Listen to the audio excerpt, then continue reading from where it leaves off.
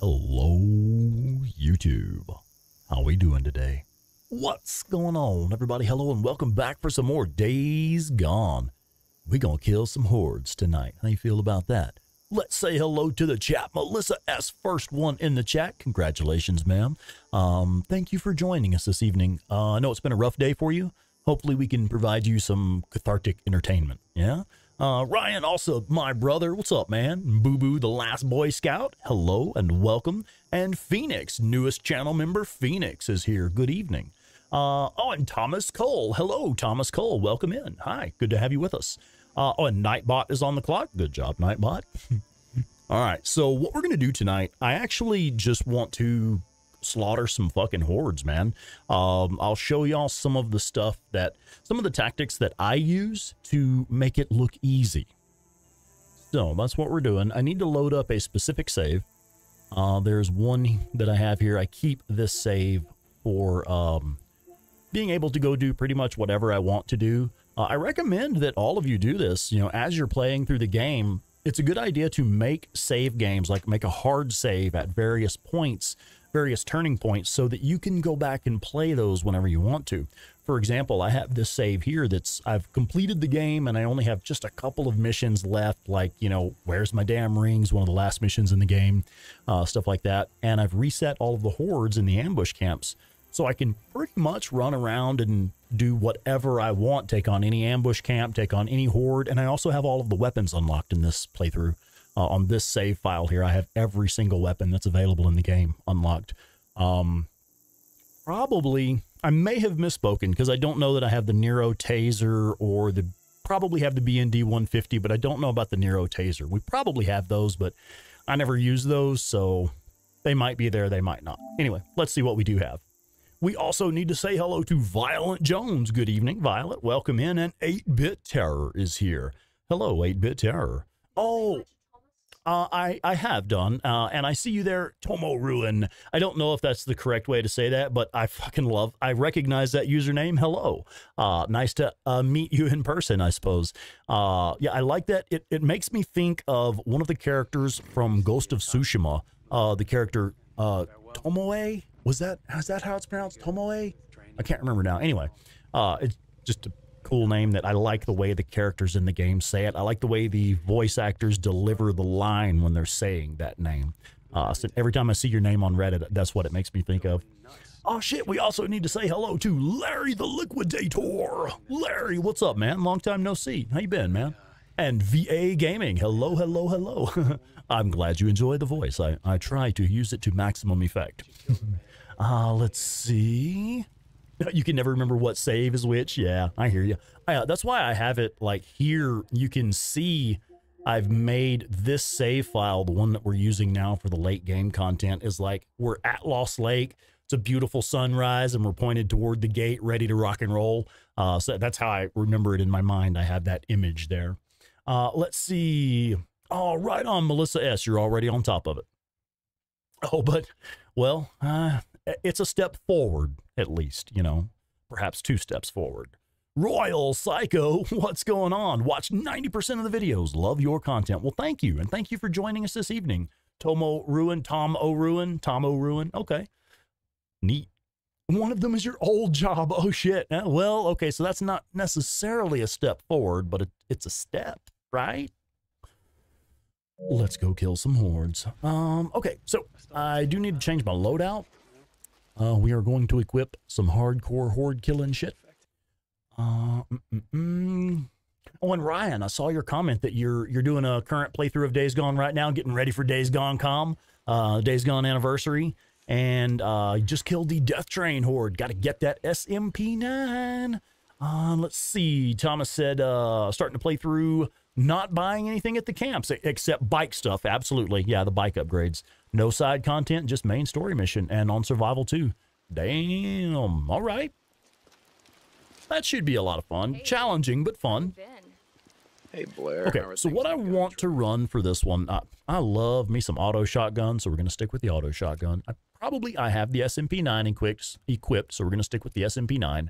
Uh, and for now, I want to run the MG55. maybe not. Maybe we should do something else, right? Like uh, maybe some of the other guns that are good for killing hordes, like the MG45 or the RPD. I actually don't have much experience with the RPD. I never use it um, because I had on my very first playthrough, I had the uh, MG45 unlocked pretty early game. Uh, I had hit level three at Tucker's camp and had the MG45 with the um, magazine upgrade pretty early. Um, and then I unlocked the MG55 really early also because I was killing every horde as they became available. Um, but I never messed with the RPD. I see the ammo capacity is pretty good. Uh, we should have the magazine upgrade for that. That's probably the upgraded magazine. Uh, uh, uh, uh we're just going to do the MG55 for now, just to get us started, and we may run some different stuff later. Hey, come around more often. All right, so we might as well start with like the smaller hordes in the early game. I have something specific in mind that I'd like to do, something I haven't done in a while, actually. Let's do this. We're going to do uh, a couple of the hordes in the Belknap region just to start. Larry the Liquidator, I agree, man. I agree. The uh the Mount Bailey horde is my least favorite horde in the game. I fucking hate that horde. Uh, just because they are so the, there there are so few terrain options there, and that's one of the things we'll be talking about this evening is how to maximize the use of the terrain. Uh, which I just noticed there was snow when we spawned in here. I don't think I've ever seen snow in the Belknap region. That's weird. I don't think I've ever seen snow in Belknap. All right, so what I want to do is uh, we're actually going to make it night. So we're going to do something a little bit different. Y'all know me, I rarely ever kill hordes at night. In fact, the only horde that I recommend killing at night is the sawmill horde. Uh, because then they're all clustered up in their little feeding pit down there at the Nero MMU. Or, I'm sorry, at the, uh, where the Nero death train is parked in the pit where all the corpses have fallen out of the train down there. Since they're all clustered up down there at night, I do like to do them at night, but pretty much every other horde in the game, uh, I generally recommend ambushing them where they sleep. There it is. It was being weird. It wasn't giving me the icon to rest. And now he won't rest. Like, dude, get in the fucking bed. Wait a minute. Oh yeah, uh, I see the comment there about using the crossbow bolt with explosive arrow or the crossbow with explosive arrows. Uh, yeah, that that can work for smaller hordes. Uh, I, I tend to get really frustrated with the crossbow. I'm, I'm just not super impressed by the crossbow, honestly. I rarely ever use it for anything other than um, using the incendiary bolts to burn the nest. It's really good for that. Uh-oh, Royal Psycho shout out from Houston. What's up, Big Houston? Big H is in the house. Need to say hello to Kaz. Kaz, welcome in. Good evening. Uh, VA Gaming, I don't know, but if you're playing the pirated version of Days Gone, go buy the game. Good to see you, okay, just stopping by. Seriously, it's worth paying for. Okay, we don't All need right. to fill up anything here. Come back whenever you need something. Borislav 24-7. What is up, man? What's going on? So I'll tell you what, folks, if you're not already familiar with Borislav 24-7 and his videos, you should be. Because uh, a lot of his videos out there are fan-fucking-tastic videos. If you're really scared of the hordes, and you need to know the spots where you can stand in a safe place and uh, take the horde out safely. He's got videos for that. And what we're going to be showing tonight is the tactics that we like to use, the tactics that the pro gamers like to use to make horde killing look easy. All right, let's make a little save game before we go. Yeah, I, I got it. Chit all three of the Days Gone greats in the house right now. 8 Bit Terror, host of the Days Gone podcast, Borislav 24 7, the Horde Whisperer himself, and Spawnicus Rex, the No Shots Fired Master.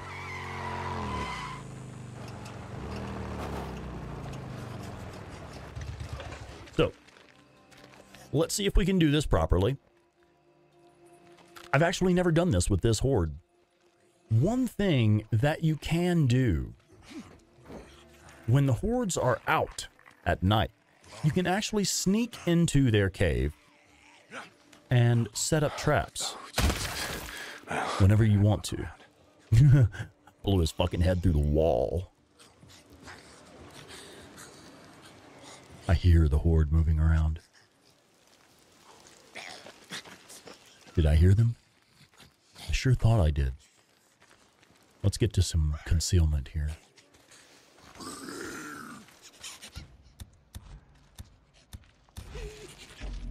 Oh, too high.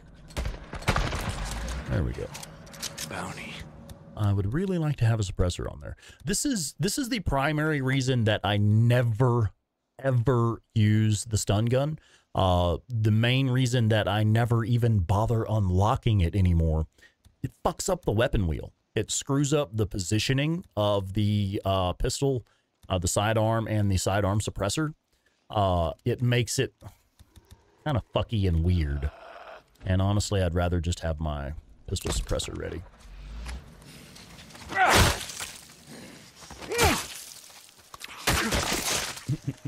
That's it. All right, let's see if the horde is moving around anywhere. There they are. Okay, so here's the horde down here at the lake. They're down there getting water. This is where the Patjens Lake gets their water from. So we know the horde is not home. So what we're going to do, we're going to go in, plant a whole bunch of fucking bombs inside the cave while they're out and about. Just for fun. We're also going to take a gas can in there. It's not going to do that much damage, but, you know, it'll do some damage.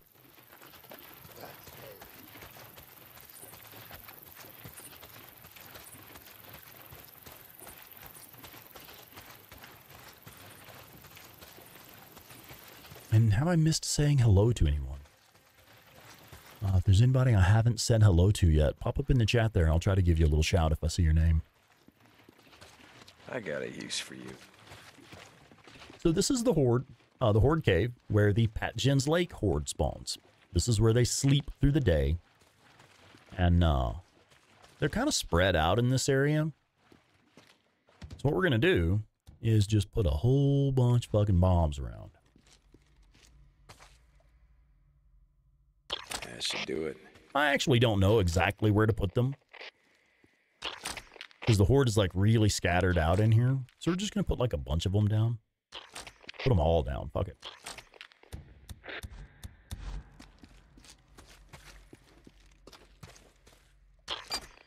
Someone who's uh, more meticulous than myself has probably figured out where to place every one of them properly.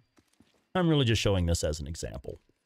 That it is actually possible to come into their caves while they're not home. We verified that they were down there getting water at their uh, little little lakeside water hole. I sure hope nothing walks in here while we're doing this, because that's gonna suck. These all go off at once while we're in here. Now, yes, obviously this is overkill. I doubt it will take all of these. Uh, and I doubt I have them in the correct spots to do maximum damage. We'll just kind of test it and see what happens. you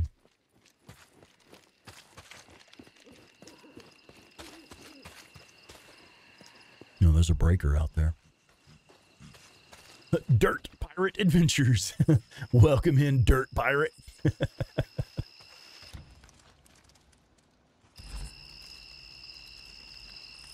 Ah, what did we have for dinner? Uh, Melissa, we had uh, some stir fry that Claire made. What flavor was that, babe? Sesame.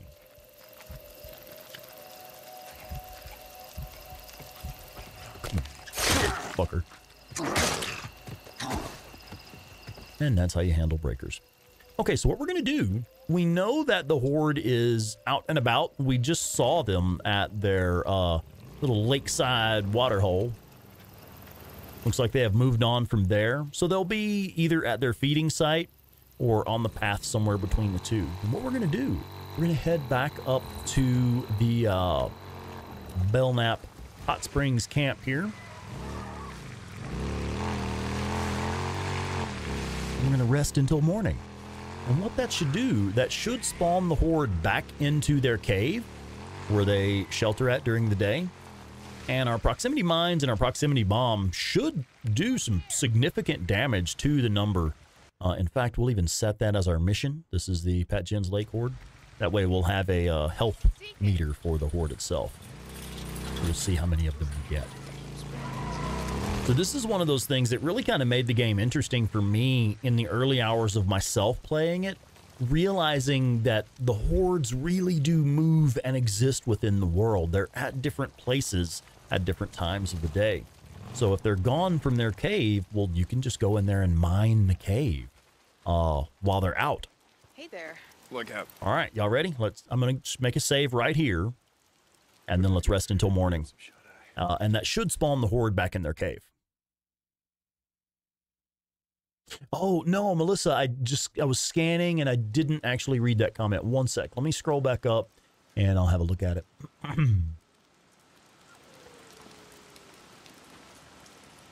the owner of your old job said you contact him if you ever needed or wanted to come back. Oh, right on. Okay. Good luck. More food. More time to rest. Okay. Let's head back. We may need to get close to it to actually spawn the horde in.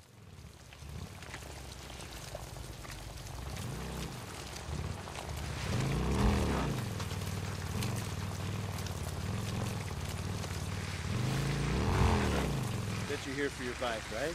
Nope. Here.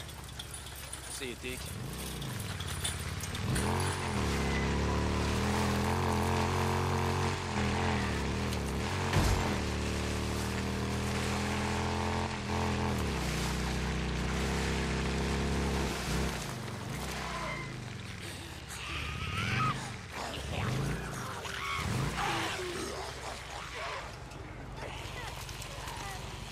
Okay, here we go.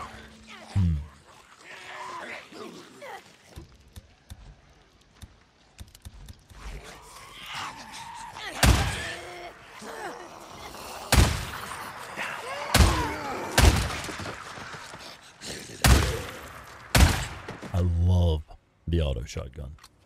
Favorite weapon in the game. Okay, let's see what happens. now, let's see if we can set off. Uh, the remote bombs may have gone off. We may need to detonate those manually with the button press. I don't know if we can do it from this distance. Okay, it's giving me a red symbol down there, so it may not have popped them. But you can clearly see on the screen there, top center, you can see we've literally taken out a good 40% of them just by putting a bunch of shit in the bottom of the cave while they weren't home. Okay, and it must have detonated the remote bombs because they're not going off either. I'm still I'm tapping the button and they're not going off, so they must have already detonated. So now it should be relatively easy to mop up the rest of the horde. Even if you're, uh, you know, not really late in the game, maybe you don't have the MG55, uh, stuff like that, you could, should still be able to do it with just uh, you know, a couple of attractor bombs. I kind of, I like to put them in right there over the over the hill where they're going to come up at. Because if we pop into photo mode, this is another trick you can use. Uh, tab over to lens, max out that field of view. So you have a nice clear view and you can move the camera around. And you can see, right, just about center screen there, the little path where they're going to come up at. And that is where I want to put my attractor bomb. That will get them gathered up right there. And then if you don't move your cursor around too much, if you don't move your targeting reticle around too much, your grenade should go in pretty much the exact same spot. Waiting for the attractor bomb to go off, and boom. Put a couple grenades in the exact same spot where they're gathered up, and look, we're almost done. Now we just mop up a few stragglers. If you're following my guides, you should have the SMP9 really early.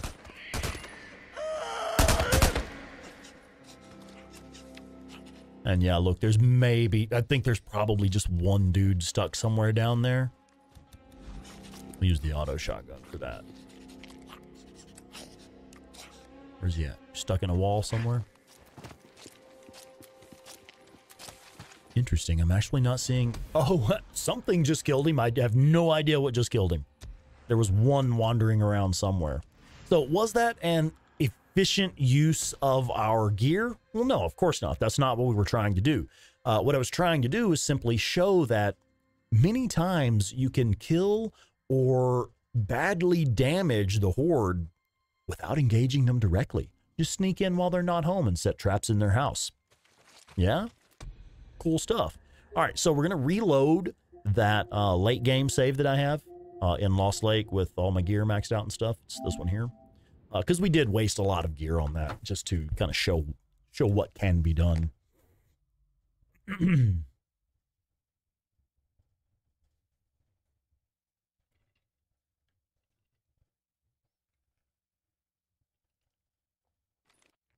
So, uh, a couple months Hmm. ago, we were up by Crazy. Joe Schmo. What's up, Joe? How you doing, buddy? I thought maybe the place wasn't Okay. over. So let's do equip some uh, different weapons. Hey, Deke. How you been? Let's try the All right, RPD, treat man. I, I like I was saying, I've never actually used the RPD much.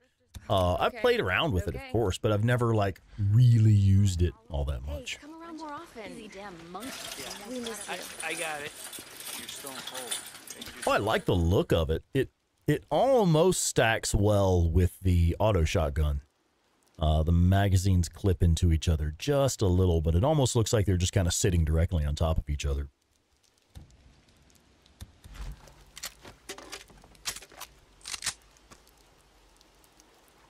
Oh yeah, uh, Cole, Thomas Cole. That's a very good idea. Actually, that might actually be a really good way to deal with the uh, Mount Bailey horde.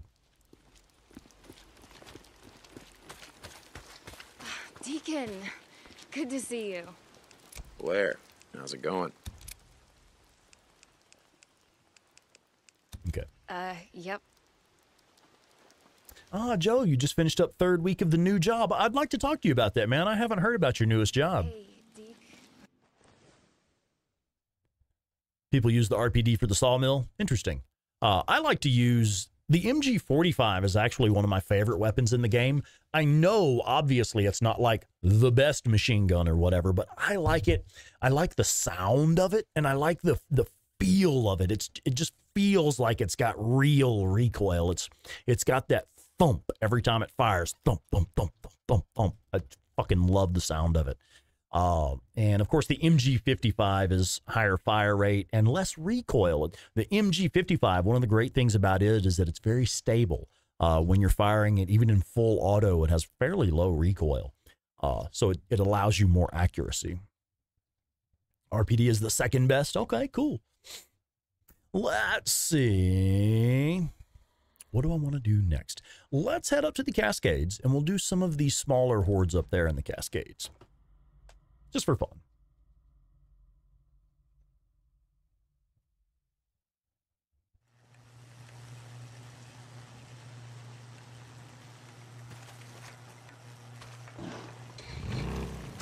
Now, here's just a general pro tip. Uh, it, it amazes me how many people do not know this. And I didn't know it myself at first, obviously, but uh, so many people still don't know this. These fuel cans, these gas pumps like this, just pull right up to them and you can fuel up right there at the pump. Uh, and having one right here in O'Leary Mountain, realizing that you have a working fuel pump right there in O'Leary Mountain is just, it's a game changer for me. One of the reasons I, I tell people when they're learning the game in the early hours, come back to the O'Leary Mountain safe house regularly.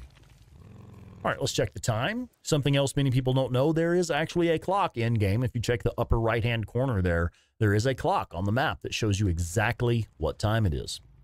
This is important to know because the hordes, their locations will change with the time of day. Again, they're they're in their caves during the daytime and they're out of their caves in the evening, generally speaking. And we have one right here at the base of the mountain, uh, O'Leary Mountain here. Interesting note about this horde you can often find them dead before you even get to them because there is a breaker that spawns in the area. And uh, sometimes that breaker will go in and engage the horde before uh, you even get close to them. Let me see if I can catch this. Uh, I gotta reload. see if I can catch this mountain lion in a bear trap. Never done that before. Come on, buddy. I see you stalking. Yeah, don't be scared. It's okay. It's all right, kitty. I put a treat down for you. Look how it stalks. That's badass. He's gonna dodge this fucking bear trap, isn't he? Come on, buddy. I'm genuinely curious. I don't think I've ever caught one in a bear trap before.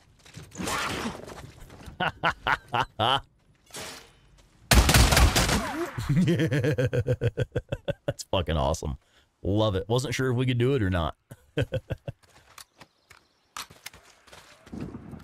okay, so anyway, the O'Leary Mountain Horde uh, is right here at the base of the hill here.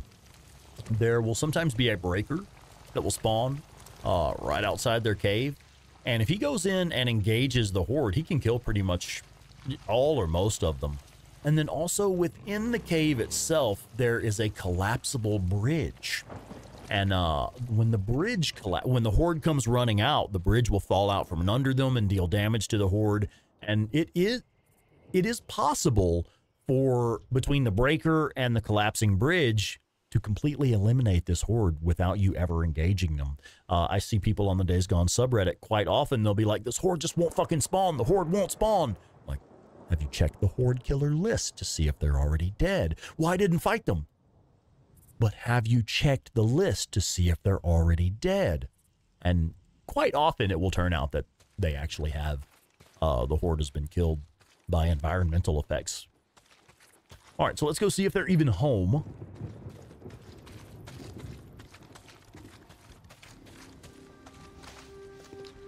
I do not hear them. It looks like they're there. I see red on the mini-map. See what this RPD is all about.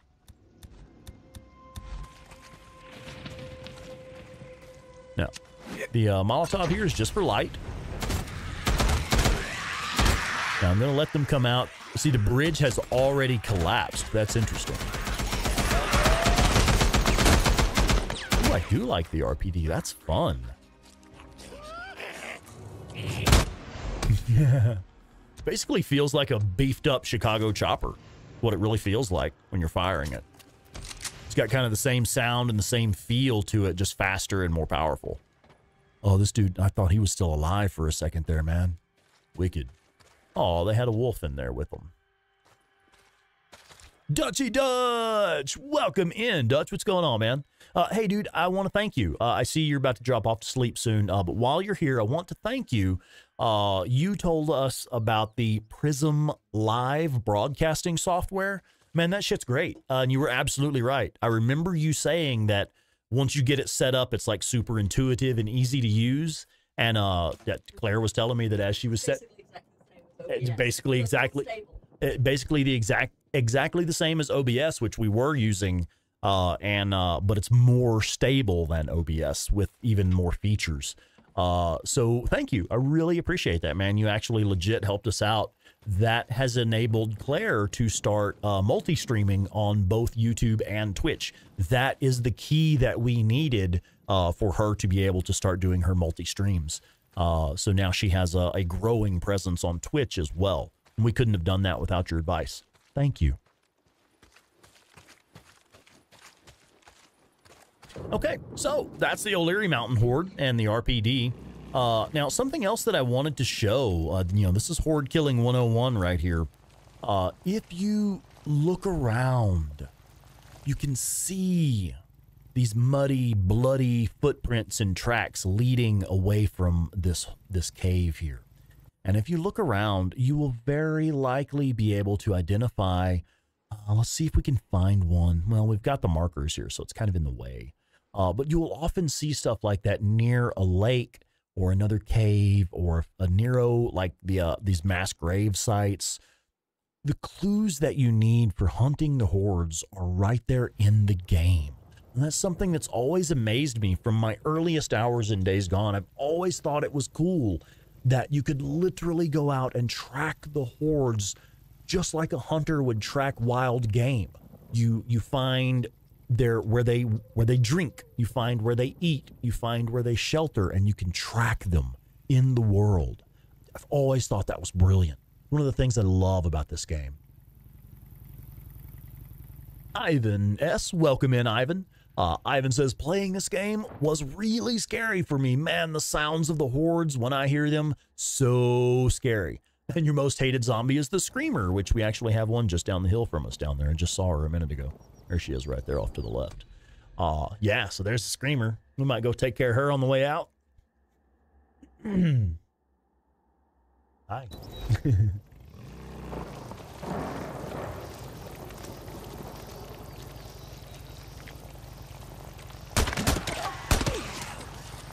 and if you shoot her quickly enough, she is not able to do her scream. Okay, well, we know the Death Train Horde is just right down these tracks here, so let's follow the tracks, and we'll go have some fun with the Death Train Horde. Uh, for many of us, for myself personally, this is the first horde that I, uh, first horde that I cleared. I think there's going to be marauders up here. I kind of want to go murder them first. I don't want them interfering with our horde kill.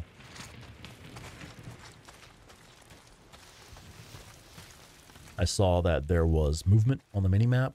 I don't actually know if there are marauders here right now, but there is movement on the map. No. Looks like a no. Maybe that was just random. Random movement.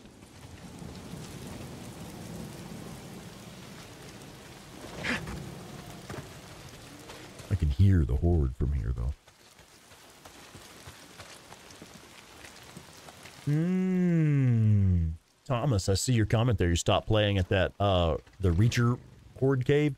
Uh, Borislav247 and I both have videos for that. And the link's already in the chat there. Uh, that's going to be, that's very likely mine. Uh, and that is one that I show how to clear that mission by using my photo mode trick. Uh, you can pop into photo mode and use that to study the terrain and plan your next set of moves. Uh, so hopefully that will help you out. But yeah, this was the first horde that I ever encountered, the first horde that I ever killed. Uh, and the thing about this horde, the what made it the first one that I killed, I'll show you here in a second. Let me get in position where we can use photo mode. Um, mm, mm, mm, boom, this should be close enough. Okay, so I like to use photo mode. I tab over to the lens page and max out the field of view and then raise the camera up and you can get a nice 360 degree view of the battlefield. This allows you to identify explosive elements in the field, terrain features in the field. Uh, it allows you to look around and find members of the horde. Like right now, I see several stragglers there. Uh, so we have stragglers to deal with, and I can see the horde up in the uh, up in the box cars up there. You may not be able to see it clearly on your screen, but I can see them there. The reason this was the first horde that I killed you have this highway going directly and under that train overpass there. And many of the early game missions lead you down this highway. Uh, you have missions for uh, Copeland's camp. You have missions for Tucker's camp that all bring you back and forth up and down this highway. And I remember driving and under that train overpass with the horde just flowing out of the box cars, dropping down above me, uh, and just racing through. They're like, "Oh shit! Oh shit! Oh shit!" You know. Uh, and eventually, I got to the point where I was, I was just tired of running from them, and I I made the decision one day. I was like, "Fuck it." You guys are mine. Come here. And I just went in and died six or seven times and figured out how to do it. Uh, now, I had already found several of the hidden loot locations at that time. Uh, so I had things like grenades and attractors and attractor bombs. I, I had some fairly good gear at that time. Uh, and like I said, I, I died six or seven times, but that was where I discovered the basics of what it takes to actually clear the hordes. And I'll show you basically how I did it. Uh, my method has not changed much since that very first time. Uh, we did have, I know that I had proximity mines from the hidden loot locations. Uh, I know that I had proximity bombs, and I also had attractors and attractor bombs, uh, and then, of course, uh, grenades as well. So I know for sure that I had those items which had been picked up from the hidden loot locations. Uh, and if it hasn't already been done, uh, could someone put a link to my complete hidden loot locations video? Uh, we'll drop that in the chat for you. So if you're not, Good. all right, thank you. Uh, if you're not already familiar with that, it will be in the chat for you shortly. Now, I want to stay as quiet as I can here. I do not want to trigger the rest of the horde. Uh, those were the stragglers. Uh, what happens is, let me see if I can show you in photo mode here. I don't know if we're close enough.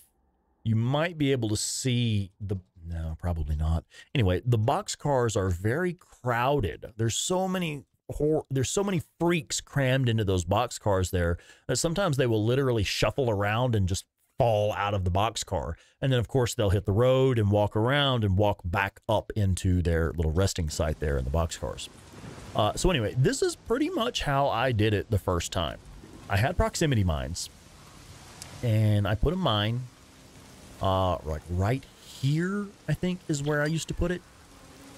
And then I used a flashbang.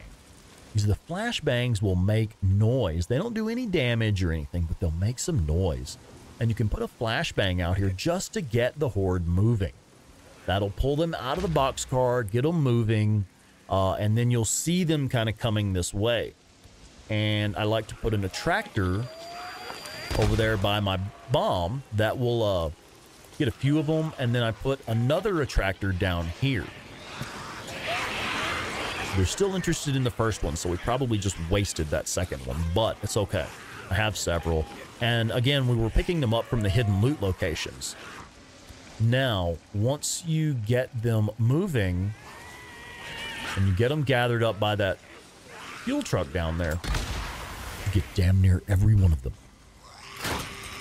Dude, dodge roll. And there's your last one. That was pretty much how I did it the very first time. Uh, the the techniques that I use now really haven't changed much.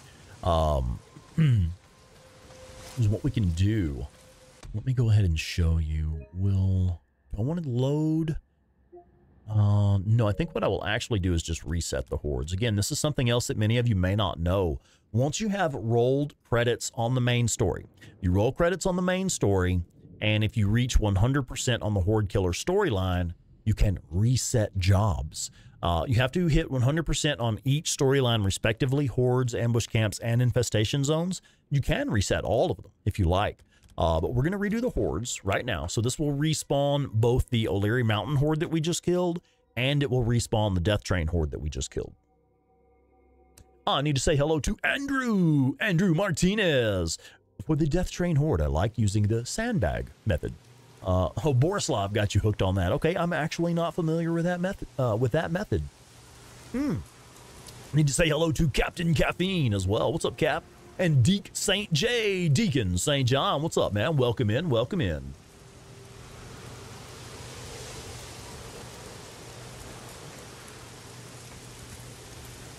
Good to have y'all here with us this evening. Oh, shit, it respawned us at O'Leary Mountain, but that's okay. Uh, what time is it? It is 3.07 p.m., so since it is uh, past noon, I'm going to go ahead and camp, make it first light. My favorite way to clear the hordes is to ambush them where they sleep first thing in the morning.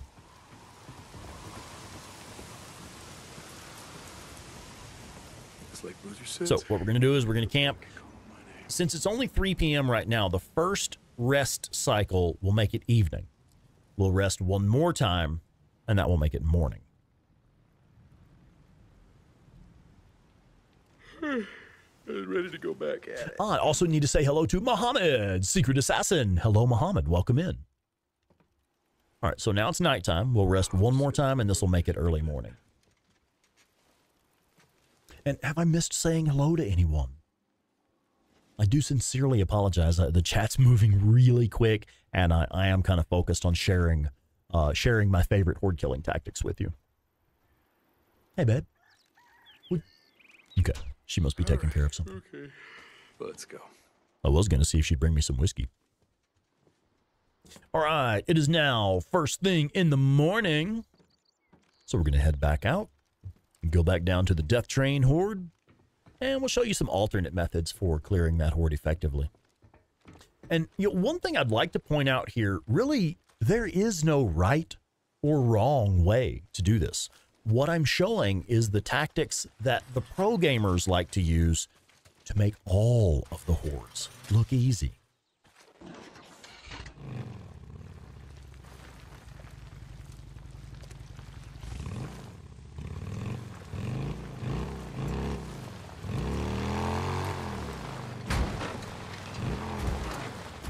Yeah, there's that mountain lion that we caught in the bear trap earlier.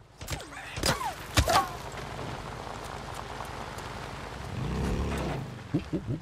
Don't start driving all squirrely.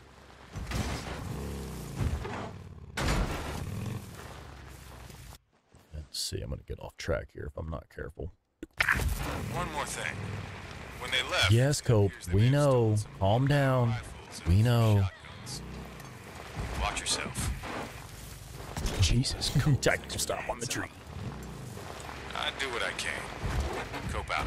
Okay, I'm sorry, guys. I'm driving like shit right now. I'm trying to look at the chat and drive.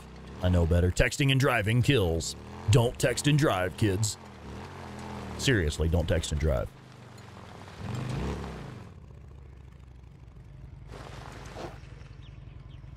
Okay, so there are a million and one different ways to do this. Uh, you have so many different things available to you here. Like, for example, you have these explosive barrels here. You have these explosive boxes over here. Uh, and then you also have this big ass truck that we just used effectively a moment ago. So there's there's tons of different ways to do this. Uh, and I actually I'm not familiar with uh, Borislav 24/7 sandbag method. I guess I haven't seen that video yet.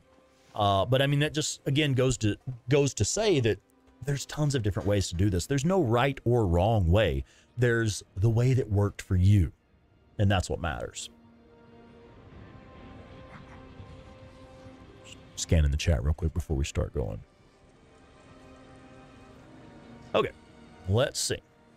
I don't really know what I want to do this time. I just want to do it a little bit different.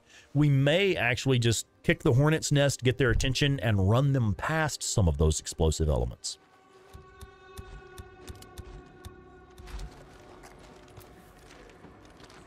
Hey, wake up.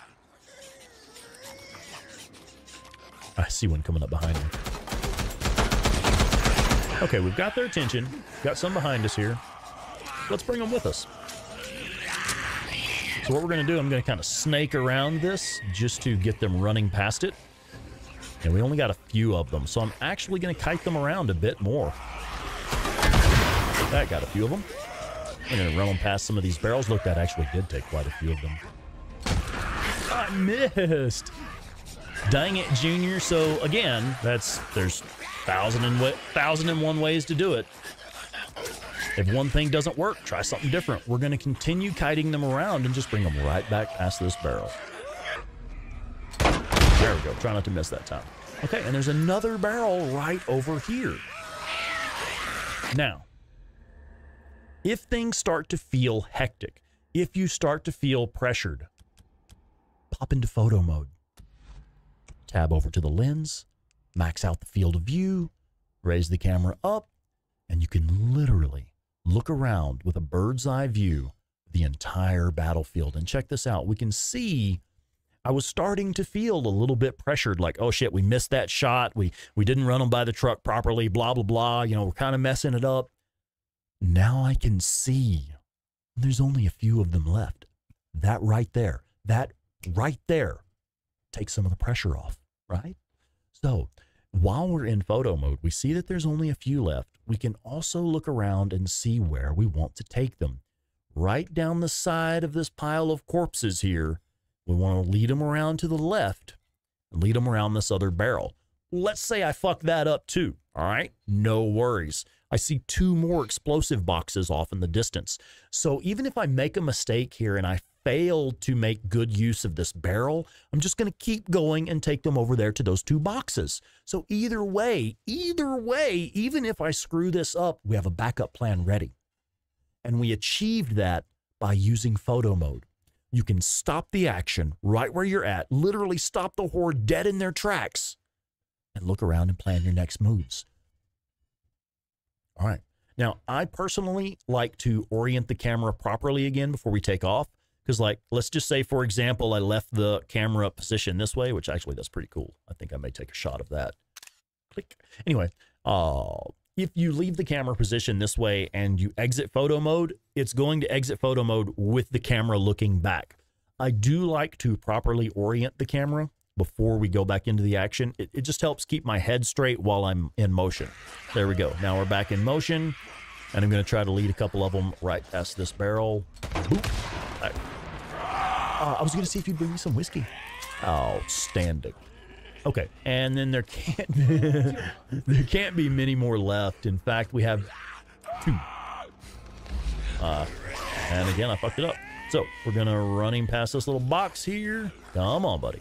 Don't be scared. It, it's just a little box. And I got both of them. There you go. Death Train Horde, done deal. Sloppy as fuck, inefficient as fuck. But did we take any damage? Yeah, oh, we may have taken a little bit of damage there, and hell, I may have hurt myself on some of those explosives. But there was very little pressure. Even though it was sloppy and hectic and inefficient, we got them. And we used barely, I, I used what, a few bullets? Yeah, I can go hit my saddlebags now and refill my weapon completely. And the bullets that we used, the handful of bullets that we used, got them right back. It's that's how it's done. That's the kind of stuff right there that makes it look easy. Now, I didn't make it look easy that time, but by using those tactics, that is how we achieve that. Ah, all right. I'm being told that Thomas has a question. Ah, is it the last comment there, the why only 2,000 2,500? That is an easy one to answer. That's because I'm on New Game Plus. Deacon is currently maxed out, and it's not actually giving us any XP. So if you're on New Game Plus, everything you do will show uh, 2,000 of 2,500 for some reason. Uh, but also, if you are not maxed out, sometimes you may see, I, I see this question on the subreddit all the time. Uh, where somebody will say, Hey, I killed this horde and it showed me I only got like 40% uh, XP or whatever. That has n- nothing to do with your performance. Uh, that's telling you that the amount of experience points you were awarded put you 40% closer to your next skill point. It's nothing to do with performance. It's not because you were sloppy killing the horde. It's not because you didn't get enough headshots. It has nothing to do with it. Uh, in fact, I can demonstrate, I may be able to demonstrate better. Uh, okay, yeah, it, I can show you where it is. If you look kind of top center, uh, where it says 0% and 0 of 891,000, uh, that that right there is uh, where it shows. I'm sorry, I just skipped off of it. That is where it shows you the percentage of XP you were awarded and how close you are to your next skill point. It shows you exactly how much XP you have and how close you are to the next skill point. And it's represented as a percentage, uh, which that is exactly how it works whenever you clear a mission or kill a horde or anything like that. And those pop up cards come up with a percentage on them. It's, it's just letting you know how much XP you were awarded and it has nothing to do with your actual performance, uh, whether you did well or did not do well. Uh, and how I miss saying hello to anyone. Oh yeah, Borislav 24/7 on PC you have to actually engage and disengage the clutch so that you can walk the bike to move it quietly. That's another one I see on the Days Gone subreddit all the time. It's like, I can't drive the fucking bike. This bike fucking sucks. I hate the bike in Days Gone. I can't make it go. It's broken. Have you tried caps lock? so many times it's like, oh, I didn't know. Like, yeah, it's it, it really is a thing. All right, let's keep going. So, uh, we can do all kinds of stuff. Let's take a look at some of the other hordes in the area. Uh, we have just cleared the Death Train horde. What is, let's do the Horse Lake horde. And that's actually one I get mixed up all the time because this is Horse Lake. Isn't this like the Horse Lake Nero checkpoint? Yeah, see, this is the Horse Lake Nero checkpoint. And this is Horse Lake right here. I believe this is Horse Lake. Uh, no, I guess it may be this one. This may be Horse Lake now that I think of it.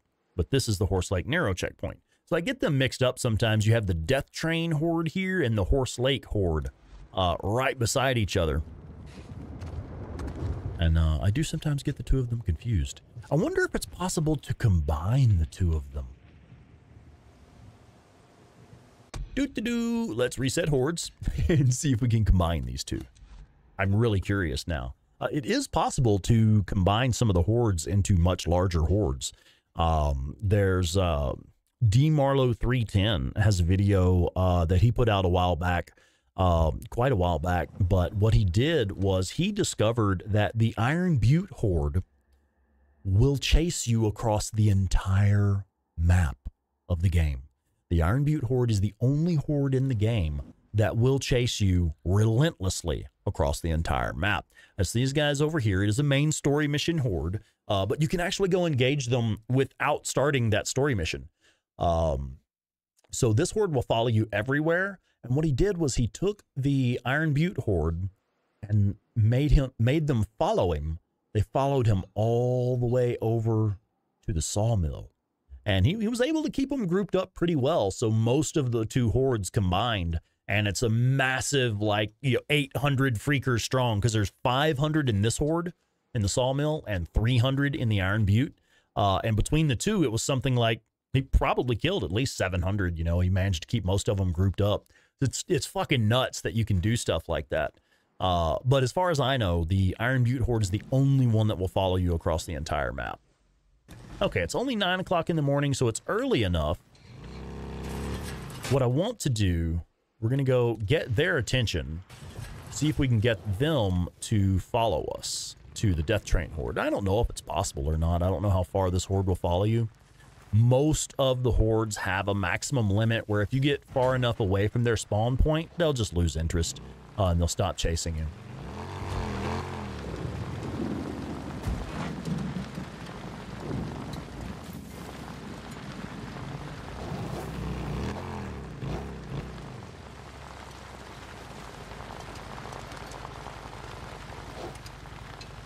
Oh, Violet. Yeah, me too. Um, you know, you you tend to learn what works and just use that over and over.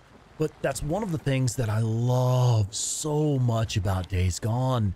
It's one of the things that initially made me fall in love with the game. Creative freedom. So few games give you anything approaching actual creative freedom with how you do things in the game. So many games require you to do things a very specific way. Uh, it's like some of the missions, and this is just just an example. It's not a dig or anything. It's just an example. Like Red Dead Redemption, uh, many of those missions they require you to complete them in a very specific manner, uh, and that feels very limiting to me. It feels very restrictive to me. I love it when a game actually gives you options and creative freedom, allowing you to do things different ways, however it works for you, whatever you like to do. It really means a lot to me. And in fact, in my first interview with the Days Gone podcast, uh, Claire asked me, you know, what is, I don't recall the specific question, but it was basically, what do you love about Days Gone? You know, what's your favorite thing about Days Gone? My answer was immediately creative freedom. All right, let's see if we can get this horde's attention. If they're even home. Not hearing them. Dang it, Junior, they're not even home. All right, so we'll do another little uh, pro tip here. There are several ways to correct a horde that won't spawn in. First thing we're going to try, I'm actually going to move back a little ways. I don't want, I don't want to be right here at the mouth of the cave. So we're going to back up a little bit. And then what I'm going to do is just make a save game right here. Save your game. See that it's done saving. We're going to load the game right here. And we're going to sip on some whiskey. Mm, mm, mm, mm. Okay. Do not think they are home. Do not have the red on the minimap. Ah, you rat bastards. All right, whatever. So here's another trick for getting a horde to spawn in. We have a save game here. So what we're going to do is we're going to travel to a different map region. We're going to completely load a totally different map region, make a save game there, load our game there, and then we'll go back over and see if the horde has spawned in properly. Yeah, Thomas, I uh, I wish I could answer your question, but I honestly don't know, man. I have legit just lost count. I don't know how many actual playthroughs I have. I've also spent a lot of time just resetting the hordes, as I've shown earlier, how you can reset the hordes from the main menu. Uh, I've done tons and tons and tons of that, uh, and a lot of just like playing to a specific point just to make content. We've done a lot of that as well. Um, so I, man, I really don't know. Uh, here in a second, I'll show you how many hours I have. We can at least do that. Uh, all right, so I've made a save here. We fast traveled to another region. We made a save. Now we're going to load that save. And then we'll go back over and check it out. All right, Ryan, you're on your third. Yeah. I mean, we, we have members of the community that are, yeah, like shit, there's Captain Caffeine, 30 plus. We have members of the community are who are at playthrough number 49 and about to start number 50. Geez, there's another guy on the Days Gone subreddit. I can't recall now. Yeah, yeah. Uh, God, what is he saying he's got? 50 or 60 now? yeah, something like that. Yeah, I don't remember now either. Uh, and let's see. Yeah, Gomer Black Magic is approaching 50. And I saw the real questions. How many of your playthroughs have been off stream? Actually, yeah, not many for me. Uh, I mean, I, I, I know I had a good five, 600 hours in the, uh, uh, five, 600 hours before I even started like making content. Interesting. All right. Mm, let's go back and see.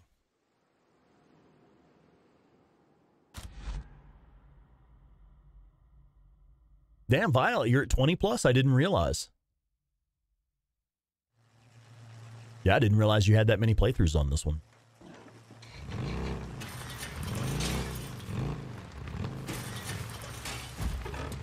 I should top off the tank. Yeah, you should.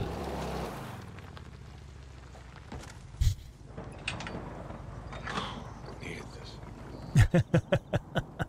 Yeah, Cap, that's one of my favorite things too. That should be it.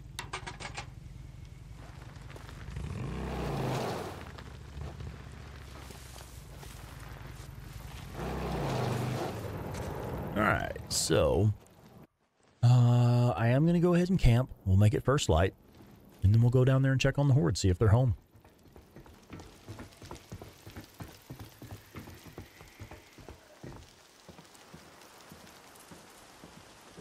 I'm just gonna grab some shut eye. Hmm. So you have a document running of uh, the different playthroughs you've done. Interesting. I kind of wish I had been keeping count, actually.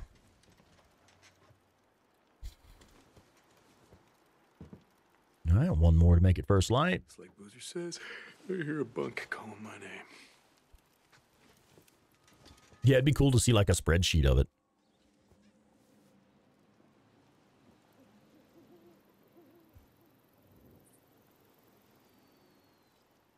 The only spreadsheet I have, uh, I made a long time ago. It's each of the hidden loot locations and what can be acquired at each location. So, like, if I'm low on attractor bombs, I'll be like, oh, okay, I know I can go to this specific hidden loot location uh, for this specific item.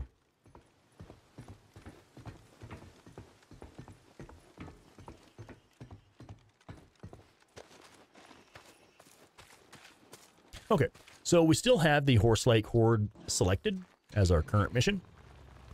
Let's go see if they're behaving properly. But uh, I almost forgot. Let's go to the main menu here, to the actual PlayStation menu. Uh, in on PlayStation, I have 1,455 hours, and on uh, shit on PC, I, I think it was eight or nine hundred last time I checked. Um. So yeah, uh, 1455 plus like let's say 800 just for fun uh that's a lot. Wrong button.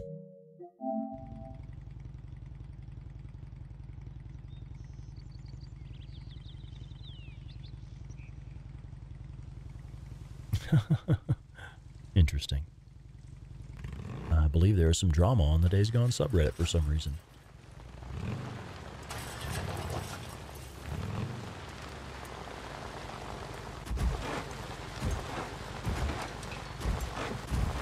sure what's going on there. Hello. Do not pet the Rager Bears.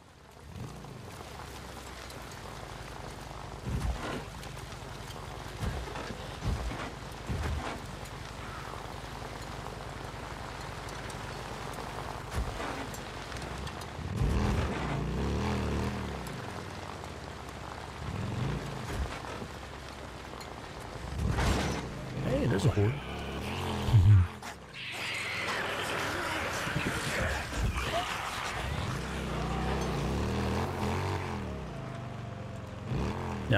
Won't follow you very far. In fact, I wonder if they're even following us now.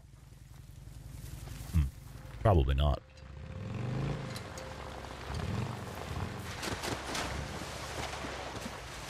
Daval Patel, welcome in as a new channel member. Thank you. Thank you for joining as a member.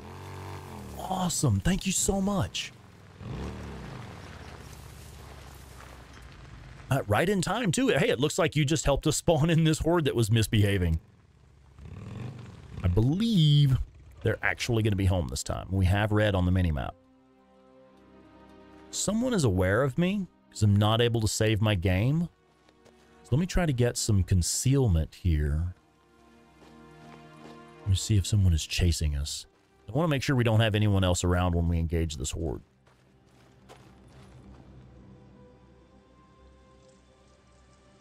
Actually, I don't see anybody.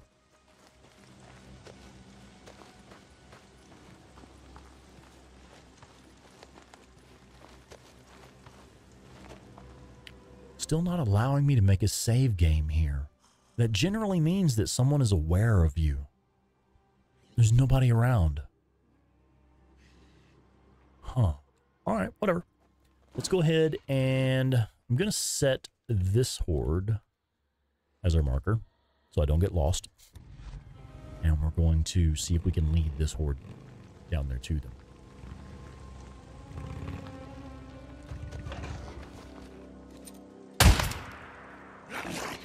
That ought to get their attention.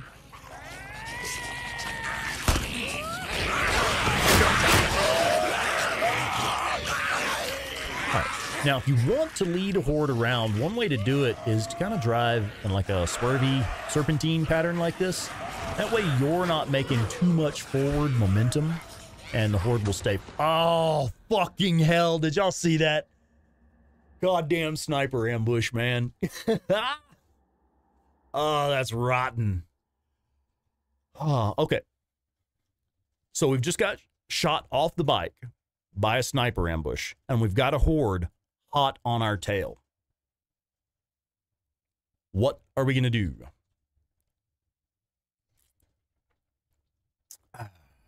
Okay. I wonder if it was the sniper ambush that was aware of me. Because, like, they're able to 360 no scope you from a mile, 10 miles away. So they may have zeroed in on me and not weren't registering on my mini map yet. So, so what we're going to do, no, not a rock, Deacon St. John, a smoke bomb. That will take some of the horde off of me. Need to, actually, I really need to heal. Let's do that real quick because we're about to take another hit, I'm sure. Okay, now we can get, we can interrupt this sniper's line of sight. We are now safe from the sniper. See if we can deal with the horde real quick.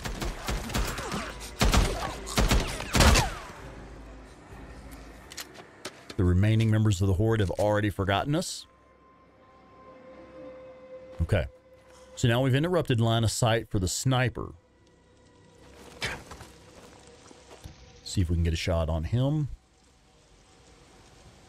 Ah, you feel that? Yeah, there we go. Goddamn. Headshot with a full auto rifle. Look at these guys.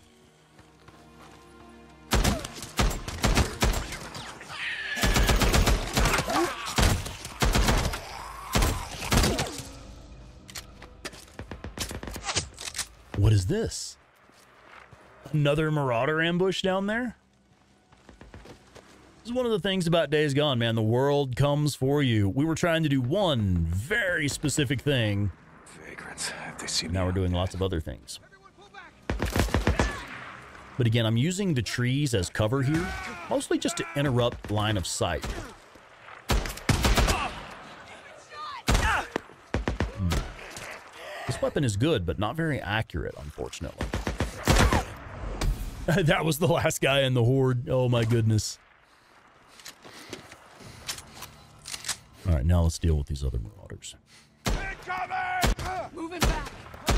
I hear someone closer to me. Oh, okay, there we go. All right, so we're going to switch to something a little more accurate. Boop, headshot. They're down, they're down! Boop, headshot. Boop. Oh, we didn't get a headshot that time. Maybe? There we go. There's another headshot. I love the SMP9. That right there is the main reason for trying to get the SMP9 unlocked as early as you possibly can. All right, so what we're going to do, let me see if I have a save from, I think this will be right before we rolled up on the Horde, or perhaps even where we, uh, perhaps even where we saved our game before starting with this whole mess. Okay, let's see if the Horde's home. I think this is the save where they had not spawned in properly. Yep. Damn. All right, whatever. All right, so I'll tell you what. Let's go do something entirely different because this horde is misbehaving and we just killed them once. So we'll go do something entirely different. How about these guys down here? I actually. No, this is. I see. You know, I never really noticed that. I don't recall ever noticing that there are two completely separate hordes that drink from this lake. You have both the Grotto Caves horde and the guys we were just engaging, the Horse Lake horde. Both of them right there. That's weird. Uh, did I miss saying hi to somebody? James, James Smith, welcome in. What's up, man? Only thing to do, the good old roly poly, the ancient art of roly poly. yeah, let's go do the Grotto Caves horde. That one's fun. I like that one. It's one of the bigger hordes in this area. I don't recall exactly how big it is. Hell, it may even be the biggest horde in the Cascades. I don't recall now. Current time is 9.03 in the AM, so it's nice and early. We can do this pretty easily, I think. Go ahead and grab some fuel. Uh, here we go. Never gets old. Oh, here we go. Good.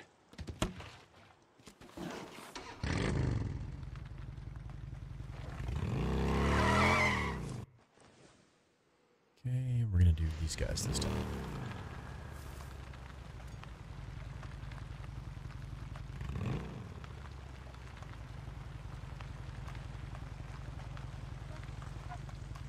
Uh, yeah. Um, yeah.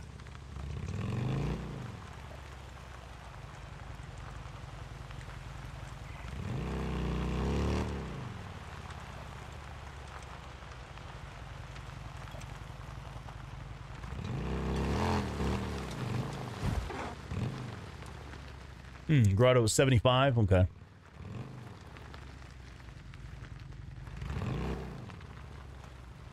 Which is pretty big for this area for early game.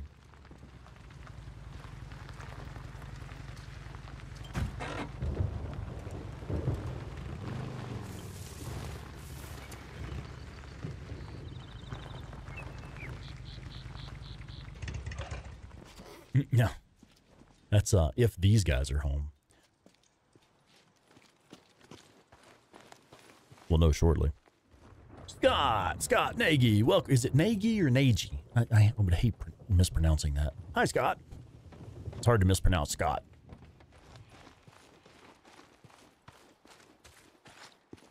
They're not home. All right. So we know what to do. If the Horde's not home, and you know they should be, we're going to fast travel to another region, save our game, load our game, come back, should be okay. It's a bit frustrating having to do this regularly, but it sh should probably work.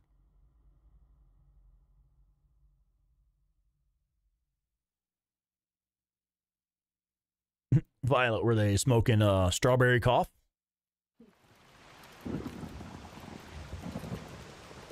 Okay, so we're here.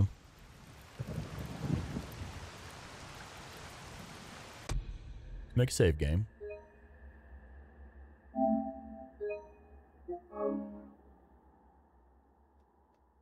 Yeah, uh, Thomas, you're correct. They are pretty far inside the cave, but once you actually enter the cave, you should you should hear the audio uh, of the horde growling and stuff. So if you don't hear that, they're not home. Okay, so let's load that game and then we'll run back and try again. At least we have a fast travel point really close because we have that Nero checkpoint there.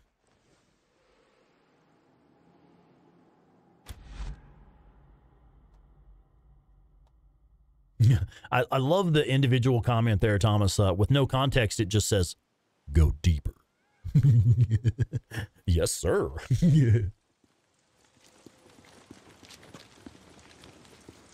All right, here's the fuel can. We're going to top off the bike. Go. Probably go ahead and wait until morning. Yeah, it's 5.30 p.m. right now. So we'll use this uh, Nero checkpoint here to camp until... I'm sorry. I just realized there's a fuel can laying right beside the bike, and we just ran over there to pick one up. Brain.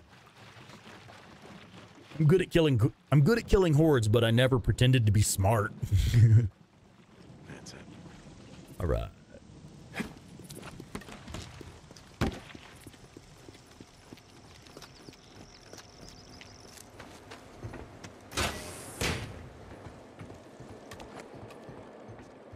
Oh, I'm just gonna close my eyes for a bit. The first pronunciation. Okay, cool.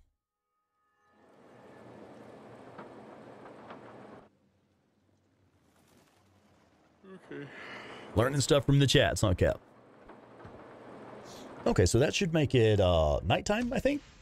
Yep. And now we're going to do one more, which will make it first light. I'm just gonna grab some shut eye. Oh, dude, I'm on top chat. What a what a fool. I just said I can't pretend to be smart.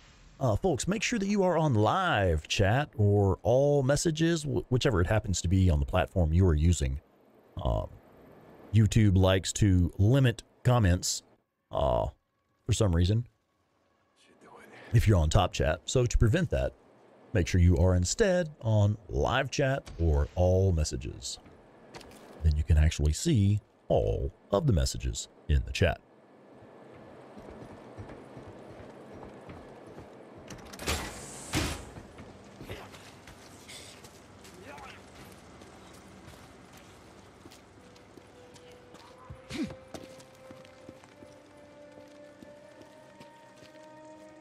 Okay, let's go try again. See if they're home.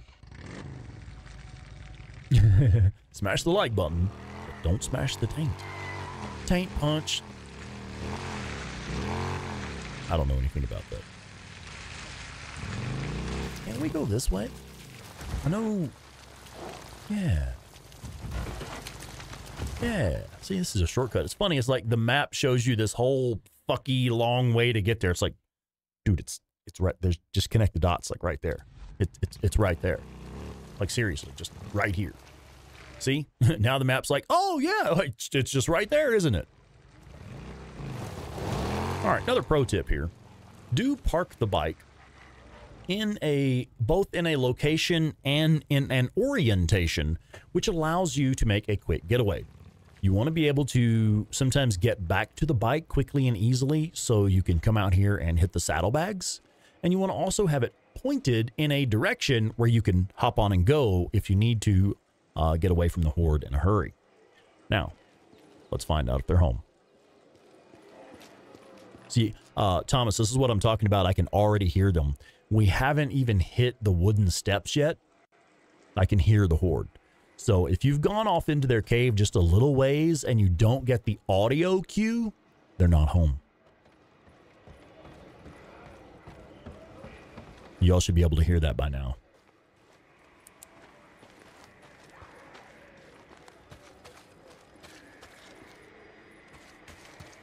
Which one is that, Thomas? The the one that specifically says that? Because I remember I, I've had that theory for a long time, and I don't recall if I got it from actual intel in the game. Is it the one uh, in here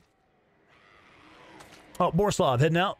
All right, brother. Hey, thank you for popping in, man. It's it's always good to have you here when we're uh, playing Days Gone and killing hordes, man. Always appreciate you popping in, buddy.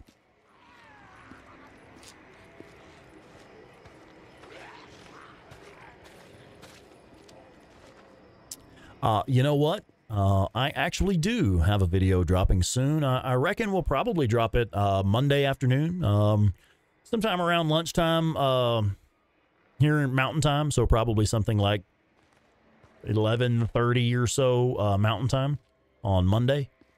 Uh, I have I have compiled basically everything that I could think of that will help you kill hordes pretty much some of the stuff that we're showing tonight will be showcased in there, and then all of the details in between.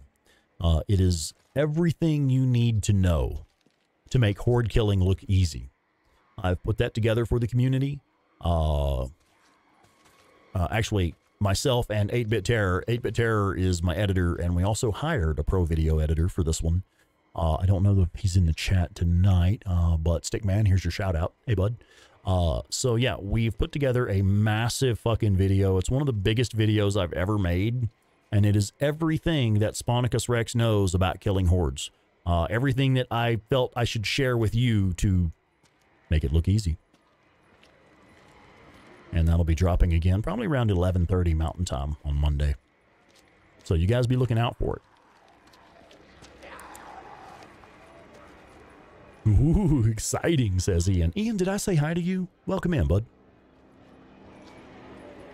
All right, so this one is actually pretty easy. We're going to use photo mode. Again, uh, this is how I like to just kind of get a view of the terrain and our options. Uh, so we go into photo mode. I may not be close enough. I may have to move in a little bit further. But you can see this pit down in the middle here. We are going to have to go in a bit closer. We sneak in here as quiet as we can. Sneaky sneak. Okay, now we'll try again. There we go. So you can see the horde is pretty well clustered up down there in this pit. I don't know how well you can see it. It is fairly dark in there. Uh, so I'm not sure how well it's translating on your screen. But right down there in that pit.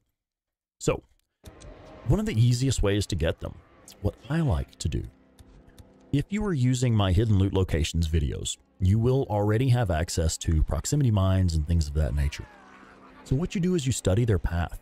Where are they going to come up from? Well, their only option here, I'll give us a little more light, their only option at first is to come up from this tunnel right here. And if you allow them to come up from this tunnel, they will flank you. So I like to set at least one bomb here to prevent them from flanking me as easily. They're still going to run up and swarm around that bomb. A few of them will get past it, but that will stop the front ranks. So what I'll do is I'll start with an attractor bomb. Since they're already fairly well clustered up, you don't need to start with an attractor to pull them in.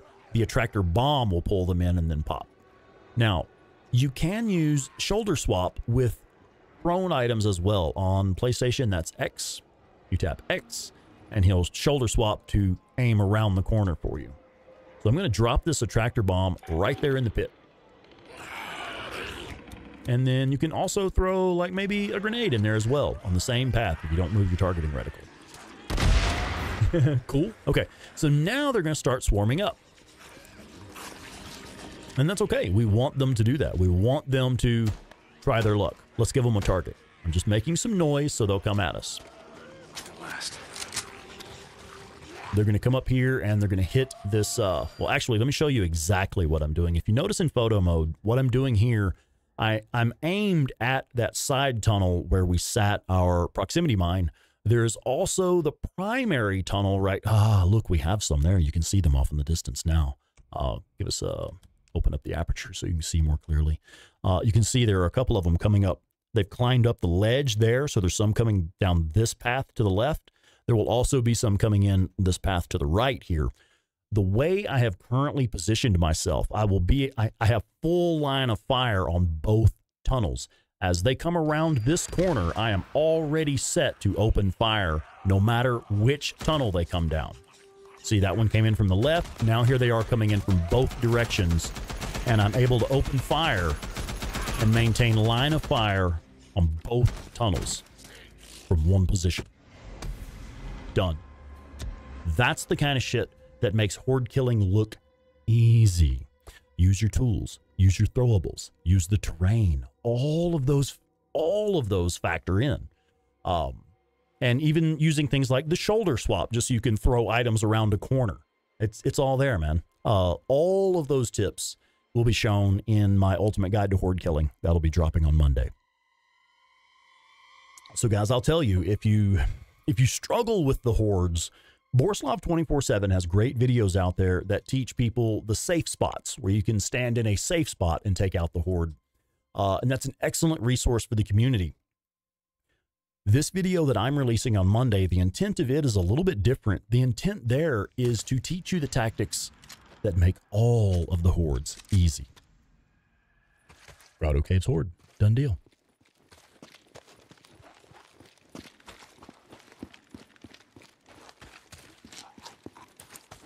Hear a reacher somewhere.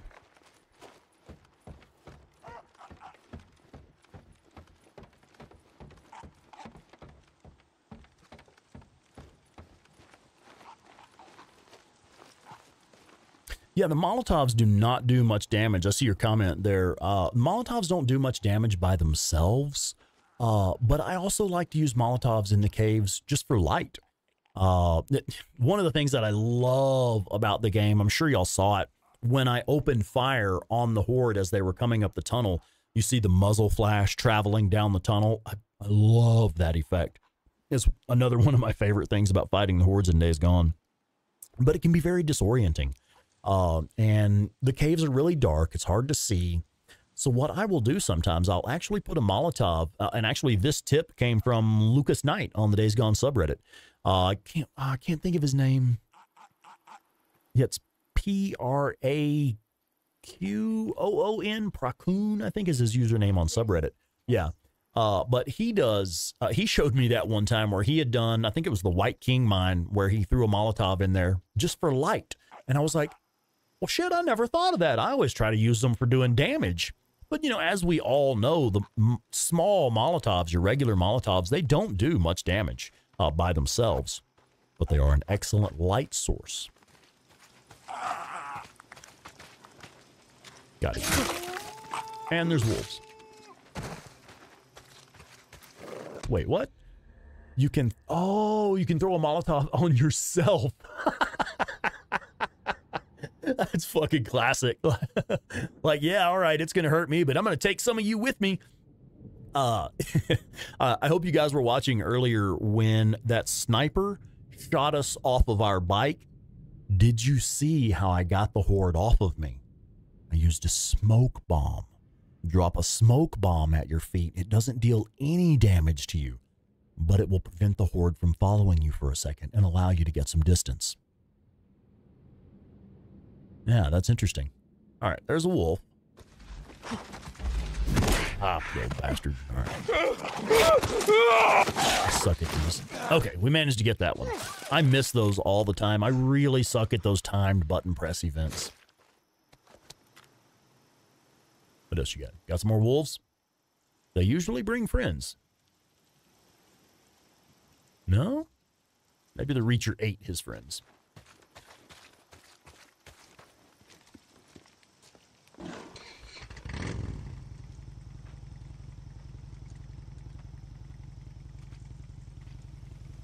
See the mini map is showing there's someone like basically right on top of us. I don't see anybody. All right, so let's let's go kill some more hordes, man. Um, we'll take a look at the map and see where else we want to go. yeah, Thomas, like, uh, you see my dumbass, I'd just rather set myself on fire. People do forget about the smoke bombs. Uh, they underestimate the smoke bombs quite often. Uh, smoke bombs and flashbangs. Let's see. Actually, I'm kind of hoping there is another wolf so I can show you what the uh, smoke bombs do to wolves. Nothing to do with horde killing, but still fun. Okay, that's just a freaker. All right, well, if we come across any more wolves or mountain lions or runners, I will show you another use for smoke bombs.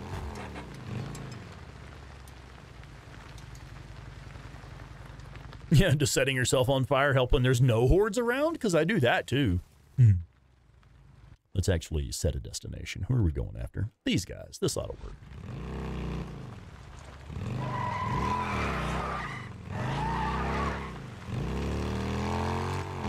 Yeah, I guess it'll keep you warm on those cold Oregon nights.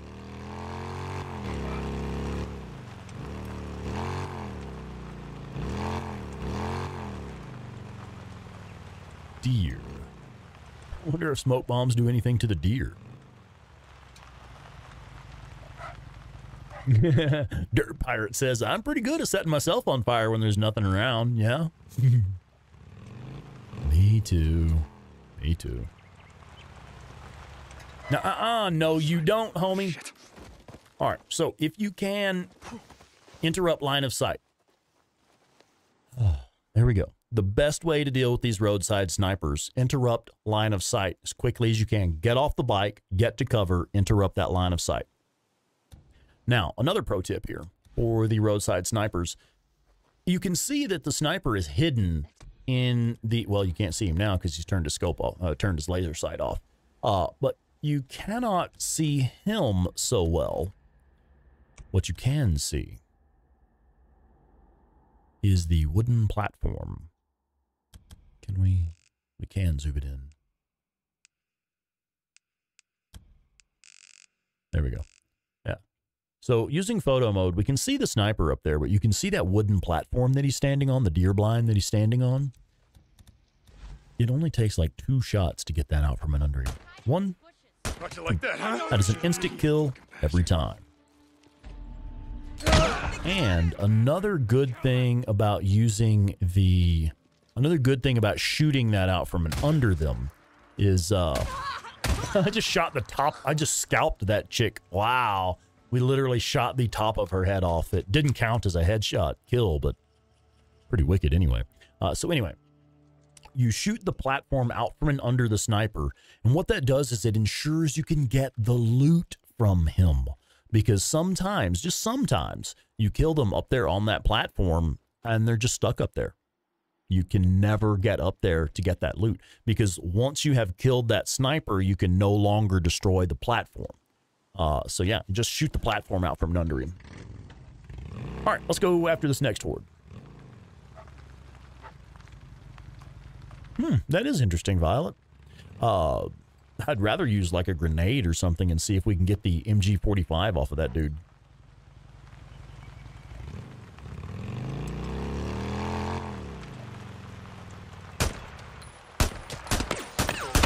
Don't give her a chance to scream. Runners. We have runners. All right, so let me show you another use for the smoke bombs. Check this shit out.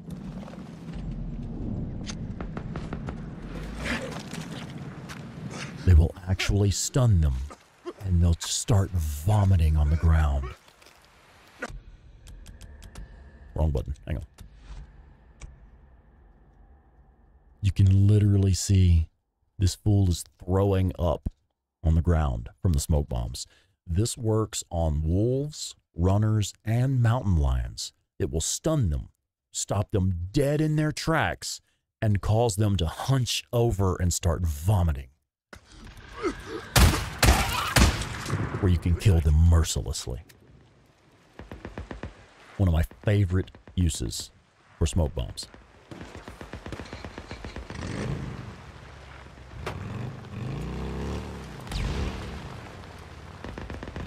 I have no idea. I, I'm hearing some heavy gunfire. I just heard like a pipe bomb or something go off. I have no idea what's going on. There is some serious action going on somewhere nearby. Yeah, yeah, that's that's Thomas. That's what I was talking about. There is a one of the guards in Copeland's camp has the MG45, and we've had multiple people report that they found that dude dead, and you can actually pick up his MG45. You can have an MG45 early, early in the game. I don't know of any way to duplicate it though. I don't know any way to reliably make that happen. yeah, Melissa, there's always a silver lining. At least you won't be hung over tomorrow. There is that. okay, so we're going to go uh, play around with this other horde here. if they're home. We have the audio, so they are home. So what I'd like to do, let's just see if we can do this properly. Hopefully I didn't just get their attention just now. We may have. So there's a nice little ledge right up here.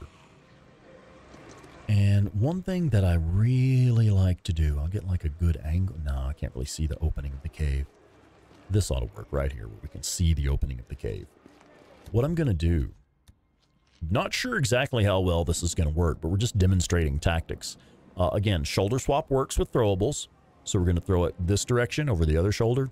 And I want this horde to come out to the mouth of their cave here.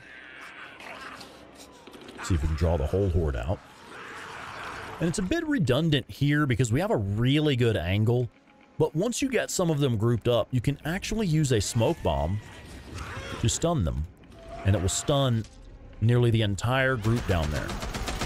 So even the ones that want to start moving, some of them will be stunned by that smoke bomb. All right, we're going to do the same thing. I'm going to pop another smoke bomb. They're about to start coming up here. See how it stops them dead in their tracks?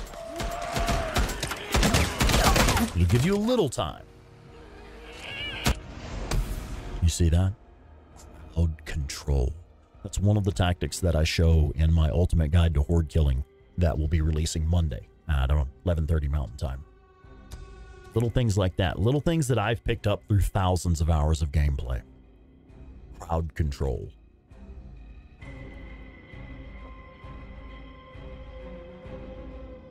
yeah, Melissa, don't be spending uh, the extra money. Hang on to your money for a little while till you get that next job lined up. I know that's got to be so stressful right now.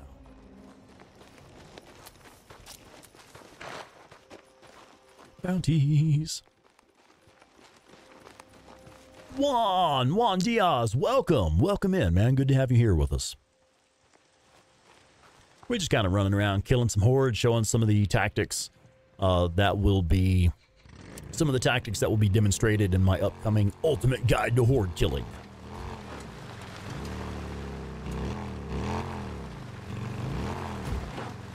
Okay, now we've used a lot of supplies and stuff. So what I what I think I'm actually going to do is just load that base save that I have where everything is available. And we'll come back in with a virtually full inventory. Sweet Ellis cookies. Welcome in, welcome in. Ooh, you just did the breaker mission and didn't have a smoke bomb. Didn't think about it. Um if you want to kill the breaker with a smoke bomb, do you also have the executioner skill from the melee tree? Uh, that's, I mean, a smoke bomb will still help. It will stun him and allow you to put shots on target while he's stunned. Uh, but if you have the executioner skill, well, then you can do a stealth melee kill on him. Yeah, yeah, I see you there, uh, Ian. Absolutely.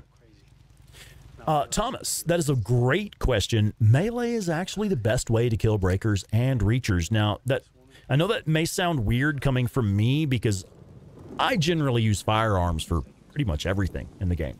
In fact, I've always said if you if you have to use a melee weapon, you have already fucked up and lost control of the battlefield. And now it's time to use a crowd control device like a flashbang or a smoke bomb to create distance and regain control of the battlefield. That's my own personal opinion. That's how I look at it. If I end up having to use a melee weapon on an enemy, it's because I fucked up and lost control of the battlefield somehow. However, the caveat there is your melee your melee vulnerable enemies are breakers and reachers. It's really one of the best ways, especially if you have the one that's on Deacon's back here, the uh, superior metal axe. Uh, let me see if I can highlight the name of it. Yeah, the superior metal axe. But this can only be picked up late game. Uh, but once you get to the late part of the game, you can pick these up all over the map. There's tons of them. Uh, and uh, if you also have like your melee skill tree uh, leveled up, where you have what is it like um, talk shit get hit, which gives you longer combos. uh, hard hitter, which is the one that increases damage uh, for melee and, or I'm sorry, for crafted and found melee weapons. And there's another one. I don't even. Uh, I think it's this one here. Home run. Uh, also increases the damage of both your crafted and your found weapons. If you have these skills, uh, Deacon is just a beast with melee weapons. And it is actually the best way to take out the breakers and the reachers, specifically the reachers with this weapon. It swings fast enough that you can kind of stun lock them. You hit them once and they're kind of stunned, let you hit them again and they're stunned, and you hit them again and they're stunned, and you hit them again and they're kind of stun locked until you get the kill. Uh, especially if you have the longer, whatever the one we just showed that gives you uh, longer combos uh, with the melee weapons.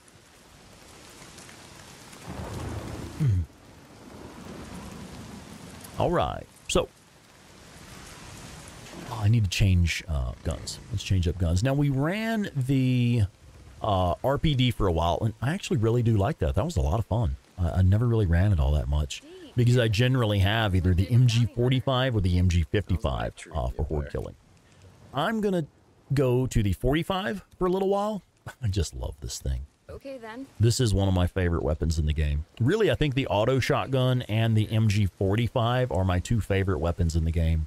Um, and they're not necessarily the best uh, weapons in the game. They're certainly not the best for all situations, obviously. They're just my favorite. There, you are looking fine today. Wait a minute. Yep. Didn't I just use the saddlebags? Did I not just use the saddlebag? I guess not. Okay. Oh, it- weapons. Uh, weapons are full. Anyway. Oh, Mega Man! Mega Man the Blue Lion! Welcome in, welcome in. Yeah, I agree, James. Uh, the melee weapons do wear out pretty quickly. Now, you also have the skill, uh, what is it here? Field repairs, the ability to repair your melee weapons with scrap, but also, rather than using that, the weapons that you pick up in the world, for example, the machete, uh, the superior metal axe, any of the weapons that you pick up in the world, they respawn all over the place. Once you learn a few of the spots where you can pick them up, they will respawn there indefinitely. Uh, so if you're using my hidden loot location video, uh, where I show how to force a respawn of the loot in the world, if you're using that, you can force a respawn of the melee items as well, all the melee weapons. So you really never have to use scrap to repair a weapon. You just go pick one up once you find some of the locations where they spawn.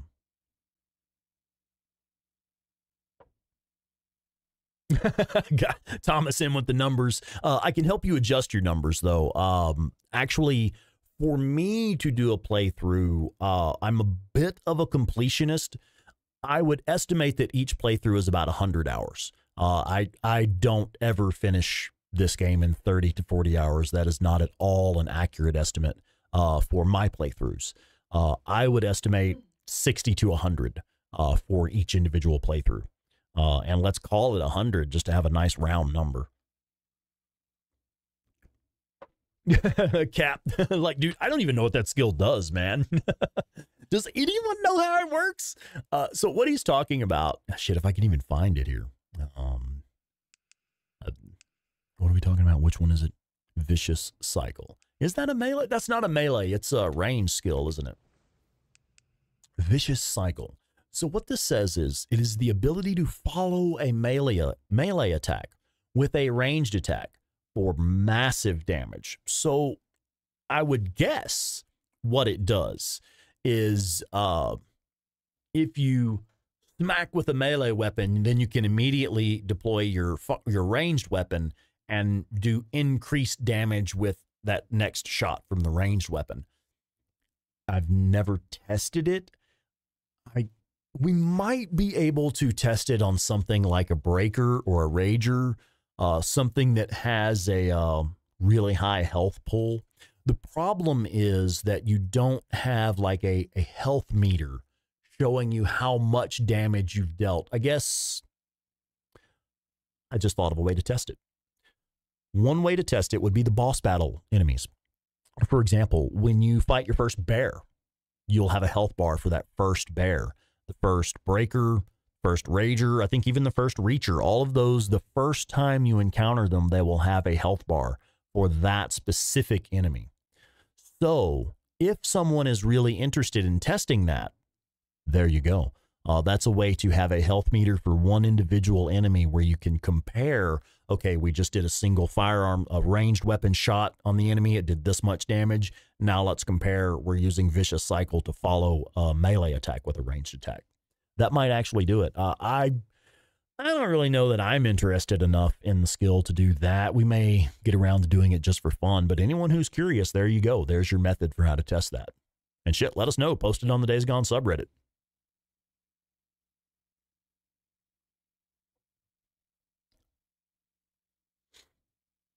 What are we? I see the comment there about uh, Violet says you found something. Just happened to notice one of your recent playthroughs. Uh, I don't know. Fun fact I noticed in the game. Before you get the puppy for Boozer, the doghouse is beside Blair's puppy sh- or supply shack. After you, Yeah, it moves. it actually moves. Yep. No shit. You didn't know that? No, I didn't know that. Yeah, Huh. by the it's by Blair. That's cool, man. Yeah, that is cool. I never noticed that. Huh. I mean, it's not a pickup item or something we can do damage with, so I probably never really looked at it. You know, and hmm. that's cool though. That is cool touch. I guess uh, since Blair sells supplies for the camp, she sold Deacon and Boozer a doghouse for the puppy, or let them have it or something. Traded it to him for something. That is killer, killer cool, man. Okay, so I have a little bit more time. Let's get out and do some damage with the MG45. I love this gun. It's one of my favorites in the game. Let's do another horde that comes at you fairly straightforward. These guys. They're basically all clustered up in a cave and come at you from pretty much one direction. I got this.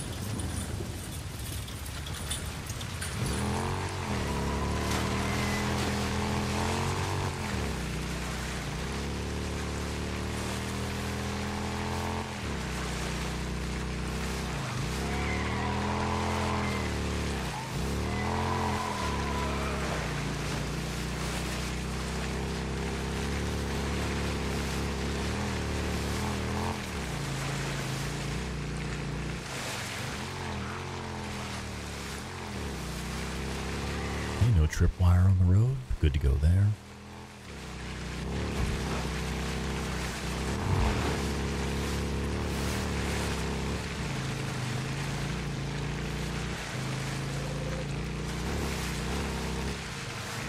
Legendary OG boy 805. What's up, legendary OG boy? How you doing? Welcome in.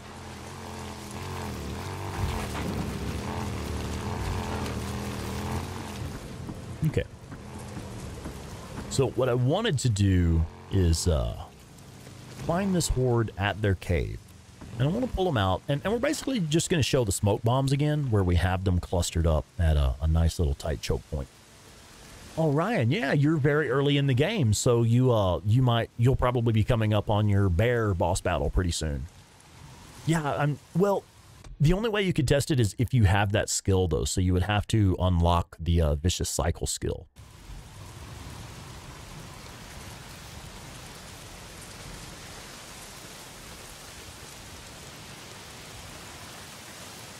Yeah, Thomas, you'll try it when you get to the bear and see if you have a save. Okay, yeah, cool, man. I'm curious. You know, I, I like I say, I've never tested it. I just don't use melee all that much.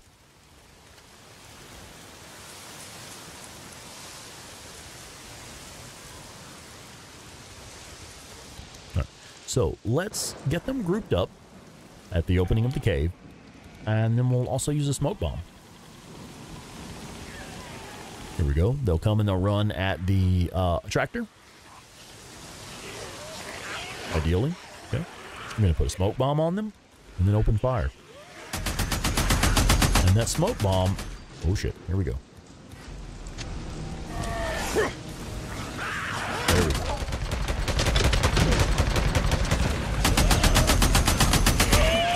Let's go.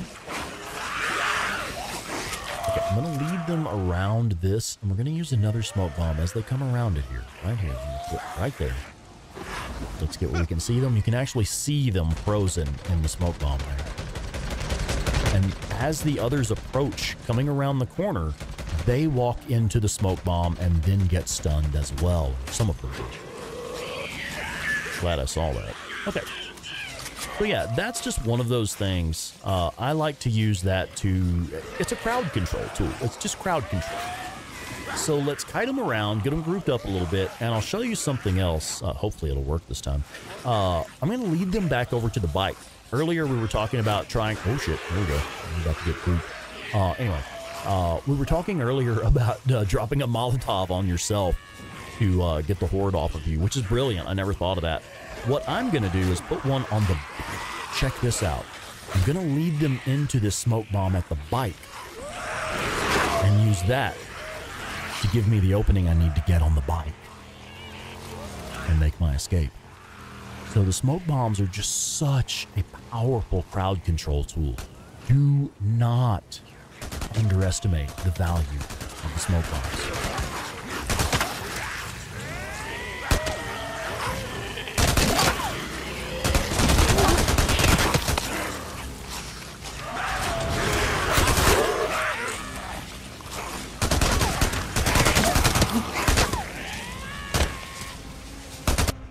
Don't underestimate the SMP9 either. Whoop, whoop. Easy enough. Done deal. Ah, it looks like we need to say hello to Dan Demand. What's up, Dan Demand? How you doing? Just beat the game and all the hordes with the Nero ending. So good. Yeah, man. So now you can reset the hordes if you want to and try out some of these tactics that we're showing.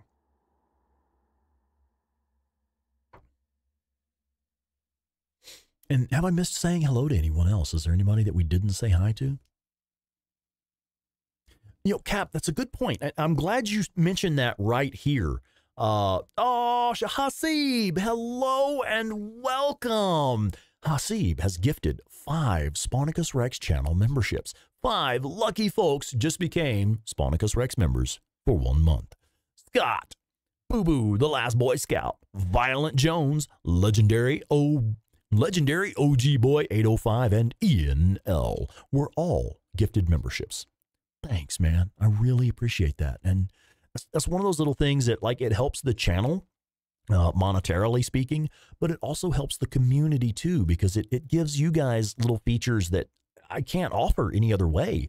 Uh, you now have the uh, the cool little icons out beside your name there, uh, little flare icons. Those were designed by 8-Bit Terror herself, host of the Days Gone podcast. Uh, that gives you access to the emojis like Ian has just shared. Yeah, good job, Ian. Thanks, man, for putting that in there. Uh, you have custom emojis, again, uh, created by 8-Bit Terror, host of the Days Gone podcast. So yeah, it's just little community interaction things. I can't offer those features any other ways. We have other ways to join as a member. We have a Patreon account, we have a Buy Me a Coffee account, and then we have memberships here through uh, YouTube as well. But the YouTube memberships are the only one that offer those features. Too cool, man.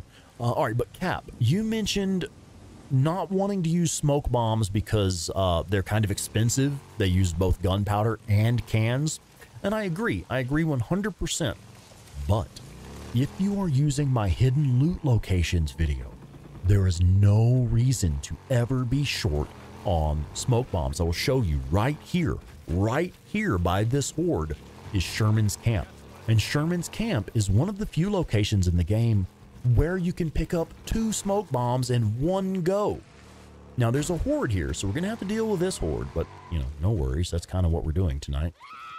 I actually have a plan for how I want to do this horde. So we'll clear this horde real quick and I'll show you exactly where you can pick up two smoke bombs. We're gonna have to kill that newt, aren't we? It is funny, the newts are supposed to be like scavengers who are scared of everything. Oh man, I really wanted to shoot it off of that ledge. Anyway, the newts are supposed to be scared of everything, but once they aggro on you, they will follow you forever. Okay, so I like to use this spot right here for this horde.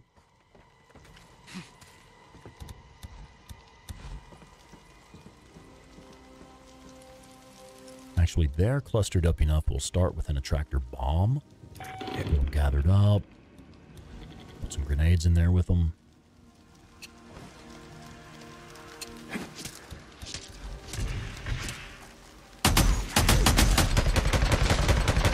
Lot of more than I thought.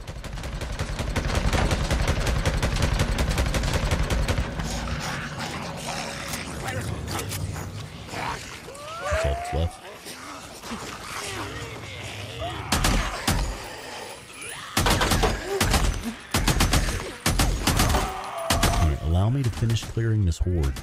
And I'll show you where you can pick up some more smoke bombs. Ready to use, fully crafted, ready to use smoke bombs. Check it out. Right here in Sherman's camp. And, and look at the map. I mean, right up here is where we just killed the uh, Riverflow Farms horde, the one that we used several smoke bombs. Uh, uh, used a smoke bomb to get away from them even. So they're right there. And then right around the corner over here in Sherman's camp, behind this building, uh, are two smoke bombs you can pick up right there in the world. Fully crafted, ready to be used.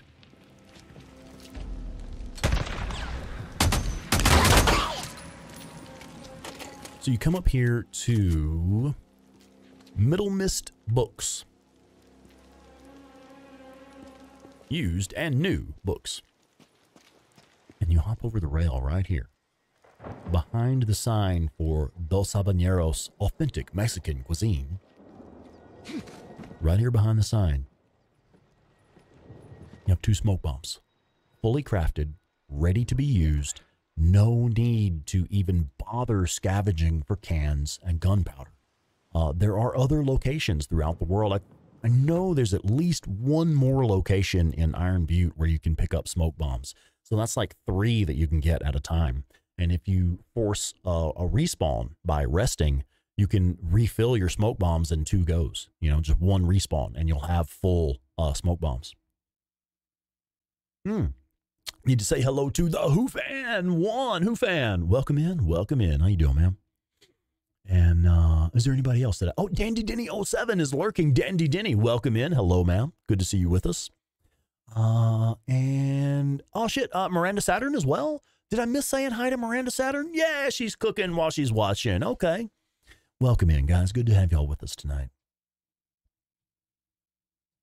it is ironic that the smoke bombs are located behind a sign for a Mexican food restaurant. Yeah.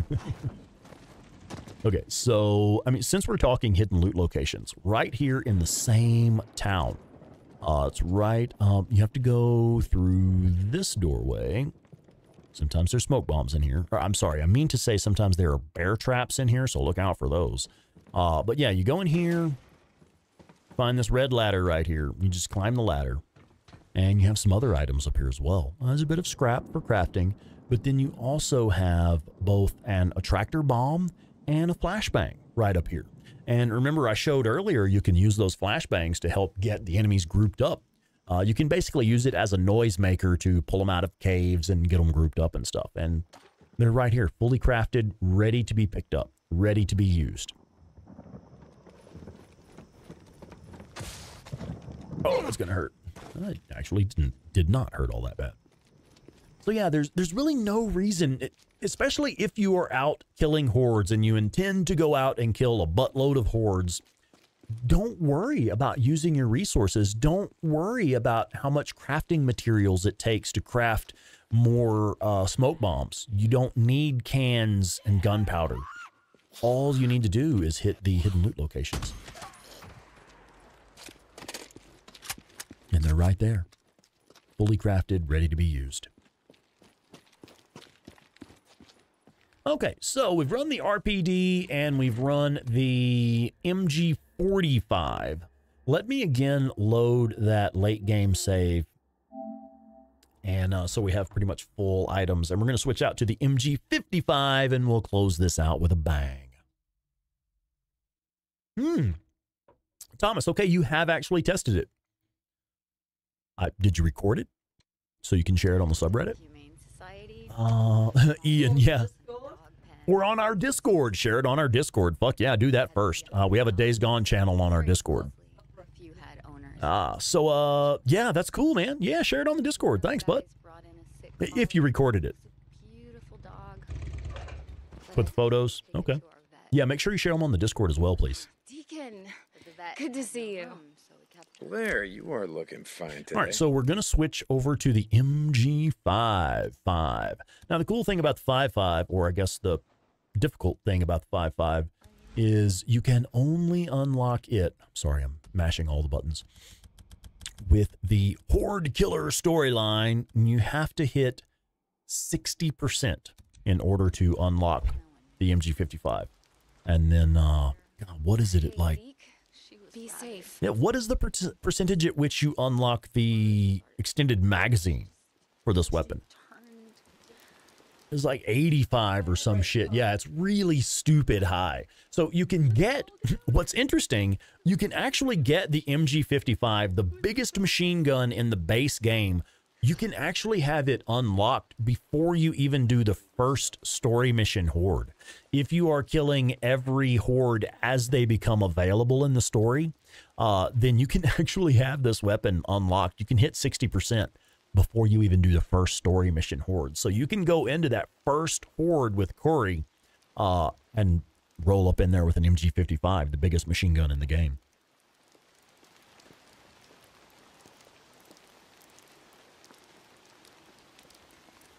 I'm trying to decide how I want to pronounce your username. I'm going to call you Mist. Mist, welcome in. Man, this game needed a sequel so bad. Does it though? Is it is it not even more special as a standalone? A sequel would be nice. I think it shines even brighter as a standalone, honestly.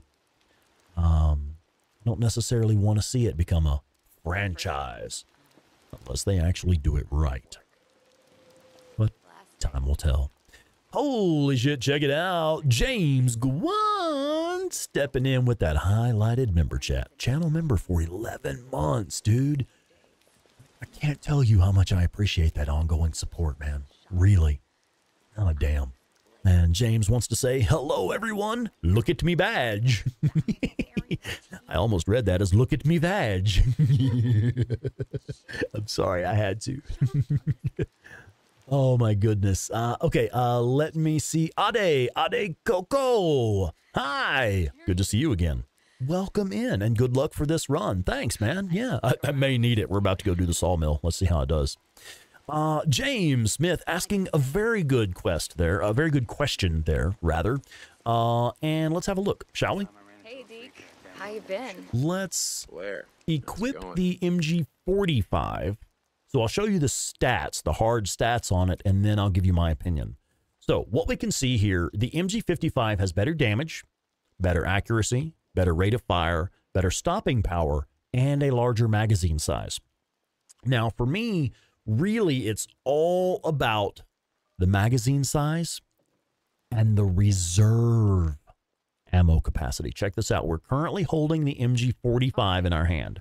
Uh, so if you look at the ammo, now again, this assumes that you have the maxed out, the magazine upgrade. You know, if you purchase the MG45 at level three from Tucker's Camp, you can also purchase an extended magazine for it. That puts it up to 95 rounds in the magazine. Uh, and the if you have the skill up the ante, which doubles your reserve ammo capacity, that brings the reserve ammo capacity up to 275. So we have 95 and 275. Now let's take a look at the MG55, assuming the same stats, assuming you have the extended magazine and you have the skill up the ante with it.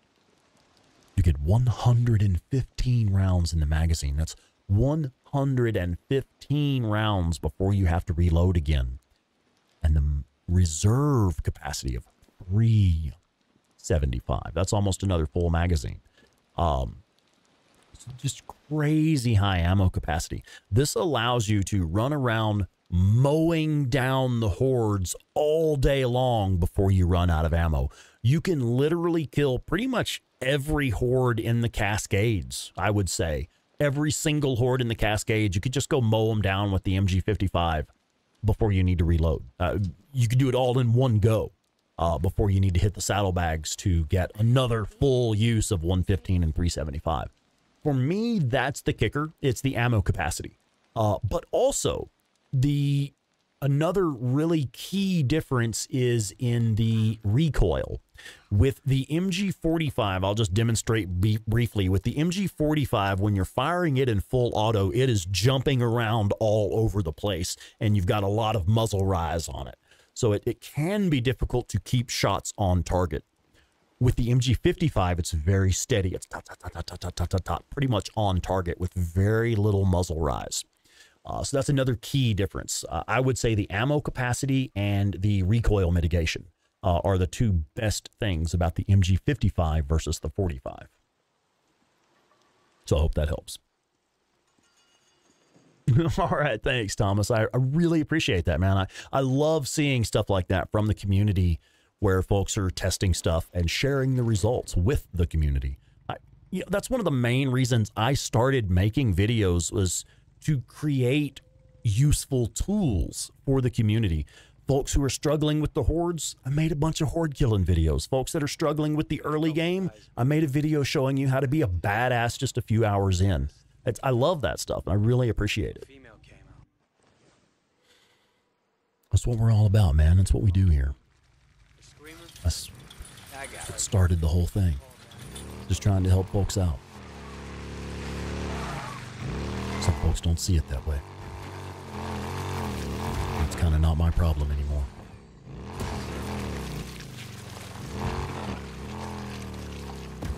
All right. The sawmill. Dun dun dun. Thank you for queuing up the music.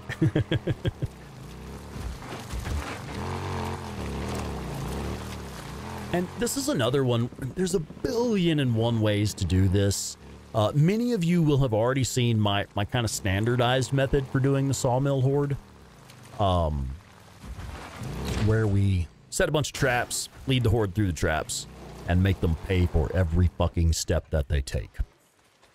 I think we're going to do that tonight. Well, yeah, yeah, that's what we're doing.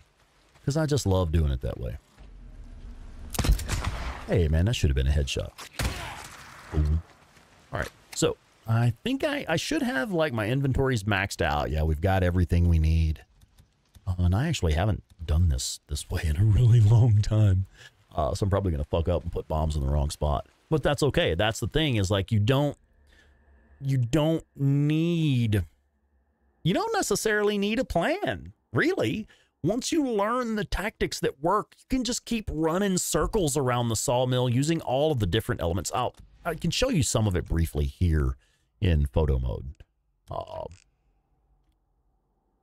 so you have like off to well, kind of center screen now. You have the the stacks of logs with the uh, the orange uh, cargo ties around them, uh, the ratchet straps around them. You can place bombs on those, uh, even remote bombs, so you can set them off precisely, and those will roll out and trip the freakers up and give you like a, a point where you can where you can do some uh, killing uh, pretty easily. And then you have like these little other paths that you can lead them through. Uh, off to this side over here on the on the far side of that barn building back there, you have a bunch of traps over there that you can use. And you can't really see it from here, just barely like center screen back there. There's a little wooden bridge way back on the far side this way where you can uh, lead them down a little wooden bridge there. There's dozens and dozens of different paths that you can take them through. So even if you fail to prepare, you don't have a plan, just keep moving. Just keep moving and keep dealing damage. So even if we fuck this up, that's basically what we're going to do. But I'm going to show it the way that I would normally do it uh, as close as I can get. It's been a long time since I've done it this way. I generally start the bigger horde fights by setting up kill zones. We'll set up specific points where I know there are choke points that I intend to lead the horde through. And I tend to do this before the fight even starts. Again, like I mentioned earlier, we want to put the bike in a good position where we can get away quickly and easily if we need to. There's going to be freaks in here. Hang on. No? No, usually when you have the corpses here in the tunnel, there's a freaker standing here waiting to ambush you. That is very odd. I don't know that I've seen it spawn that way before. It's crazy how you still see shit different than what you're used to. All right, so what we're going to do, we're going to park the bike pointed away from the horde in a position where we can get to it if we need to. We can run up here and grab the saddlebags to refill our ammo if we need to, or we can uh, use it like, again, we have it pointed away from the horde so we can use it to make a quick getaway if we need to. And what I'm going to do, you'll see me setting these up in a very specific pattern. I like to space them out. I generally put them at points where the path narrows naturally, like right here. You have this box here and this like door that's leaning on its side here. If you put one of your bombs right there, you have a natural choke point here. You have a point where these two obstacles force the path to narrow. So I'll put one there. We'll put another one here. This isn't as good of an example because you only have like these barrels off to the side, but still, it's a it's a point where the path narrows. Another one right here. And then I'll put one uh, closer to the mouth of the tunnel here. Now, you'll notice I have them spaced out quite a lot. These, these bombs right here, they are not there to deal damage. I remember when I first made my, my Sawmill Horde tutorial video, I actually had people criticizing the video in the comments because they're like, oh, you spaced those bombs out too far. You're not doing enough damage with those bombs. That is not the point. The point is to create distance. I will be using firepower from the from the heavy guns and other tactics to deal damage. All I want these bombs here for right now is to create distance, making space between myself and the horde, buying me time to fall back, reload, and renew my assault. You'll see it here in a moment. I'll demonstrate. Let's go ahead and set up the rest of the bombs. Now, in these more wide open spots here, I like to use the proximity mines because they have a larger blast radius. I'll set one here.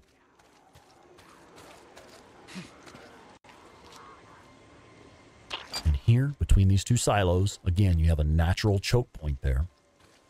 And over here, you have another choke point uh, between this concrete slab and these uh, logs here. I like to put another one. Again, we're just taking advantage of choke points that already exist. One about right here. And that should do it. Uh, now I realize I've just I have made a mistake. I tend to do this one at night. Uh, I like to do this at night because the horde will be down there in their feeding pit. So what I'm going to do is I'm going to make a save game um, just so we don't mess anything up in the meantime. Because uh, these bombs will still be here uh, if we go rest and come back. And hopefully we won't have any random wolves or anything blow them up. So I am going to make a save right now. We've got everything set up where I want it. Ah, Thomas, I have an answer for that, and you'll see it soon. I see your comment there about them uh, doing coming at you from different, coming in in two waves and coming from different directions no matter what you do.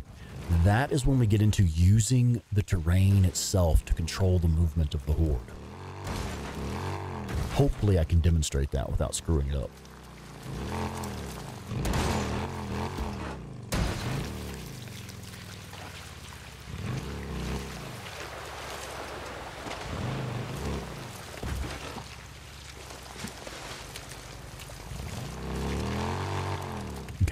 Like to leave the bike in a position where I can get away quickly and easily. Pretty much any time I park the bike, I, if I'm really thinking about it, I try to do that. I was going to grab that gas can, but we just don't need it right now. We're not worried about fuel. So what I'm going to do, I'm going to rest and make it nighttime. Uh, that should spawn the horde in at their little uh, feeding ground down there. And I'll show you show you how I like to do this. Hmm. Andrew, yeah, you use the Nero checkpoint for this horde. And that's what I was saying earlier is there's dozens and dozens of different ways to do this. There's really no right way or wrong way. There's a way that worked for you. Oh, yeah, shit, Violet, you used to skip this horde. God, I forget you can even do that. I legit, legit forget that you can even do that. I, I don't think I've ever skipped one of the hordes. I will be entirely honest. My first playthrough, the first story mission horde, the uh, the Chemult, the Chemult station horde that you do with Corey, I couldn't beat it my first time because they drop you in with no warning, no opportunity to change your loadout or refill your ammo or anything like that. They just drop you into the fight. And uh, I had already killed at least a dozen hordes by that point. So I, I kind of felt like I had the hang of killing hordes. I could not do it that first time. I did actually have to reload an earlier save uh, and go in with uh, full gear and full ammo and stuff, bigger guns and stuff. Okay. Our oh hello. Our bombs should still be exactly where we left them, unless any random stragglers have set some of them off, which that could be a problem. We'll just reload if we need to. And I'm going to show pretty much exactly what we did earlier. Bike in position. Yeah, all of our bombs are still here. Excellent. I do have freakers. Ah, fucking hell. Rat bastard.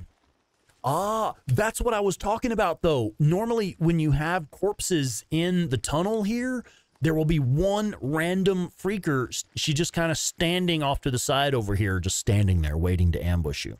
So, no big deal, really. We, we still have plenty of these. I'm going to put another one right where it was. We, we haven't really lost anything. And uh, now I'm going to go ahead and save my game, and we'll kick this off. Right, there's a save game.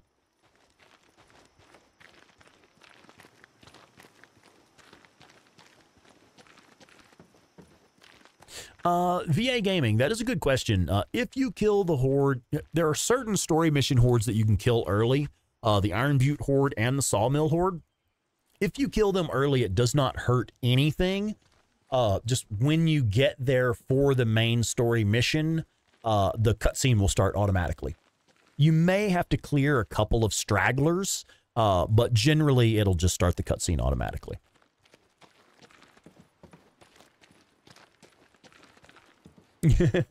I don't usually tend to die. Setting myself on fire helps. Is the horde even here this time? I don't hear them. I bet they've despawned. Rat bastards. Right as I'm trying to show something. Okay. Uh, loading the game should uh, pop them back in.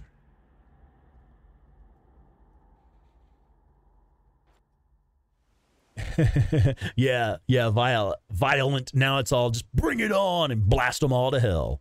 Heck yeah.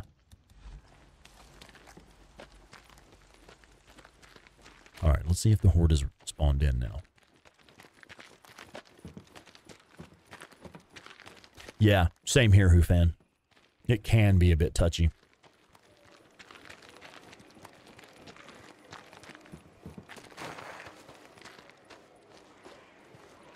There we go. Okay, they are here now.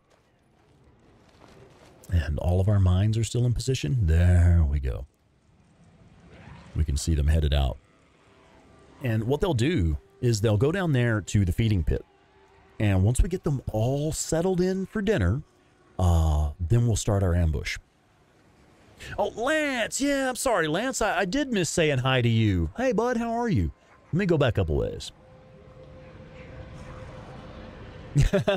yeah, Lance, you were watching Claire's stream, had a blast on that. Now it's my turn to be entertaining. Yeah, man. Welcome in, buddy.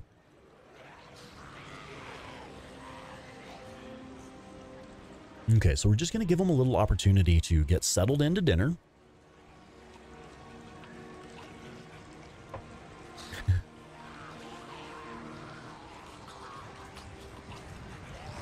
Oh my god, there's a lot of freaks. yes, yes it is, Deacon. That's why we're here. I'm going to keep a low profile as best I can. I do want to begin the encounter from stealth. Certainly don't want to trigger the horde fight before you're ready.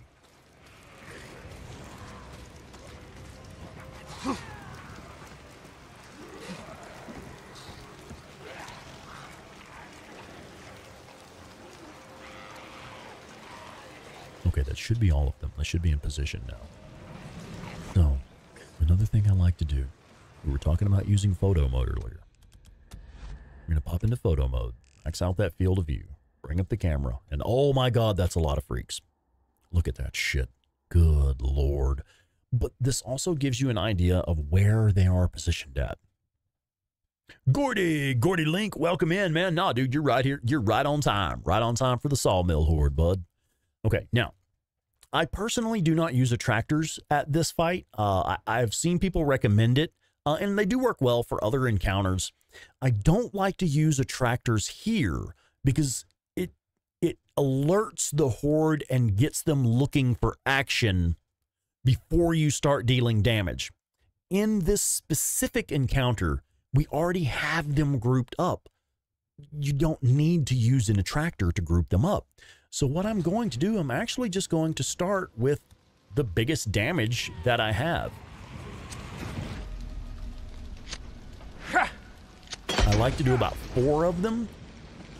And then I will also put some at the stairs here. Now you'll see that I'm not throwing it directly at the freaks. What I'm doing is I'm creating a path of fire that they have to run through. The ones that tried to follow me that way have taken damage.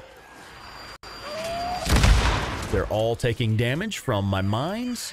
Now we're going to approach this tunnel where I have placed a shitload of bombs. I'm going to go ahead and use a stamina cocktail and a focus cocktail. Don't really need the stamina cocktail, but they're still nice to have.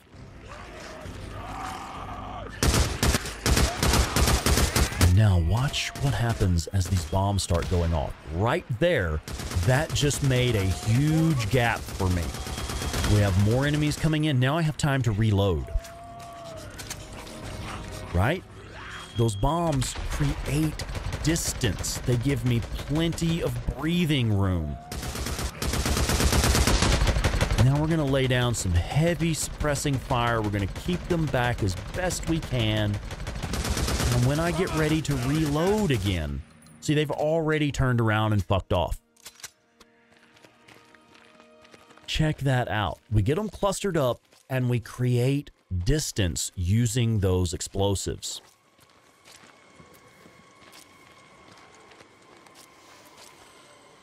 And I'm going to give them a minute to get back down there and get grouped up again.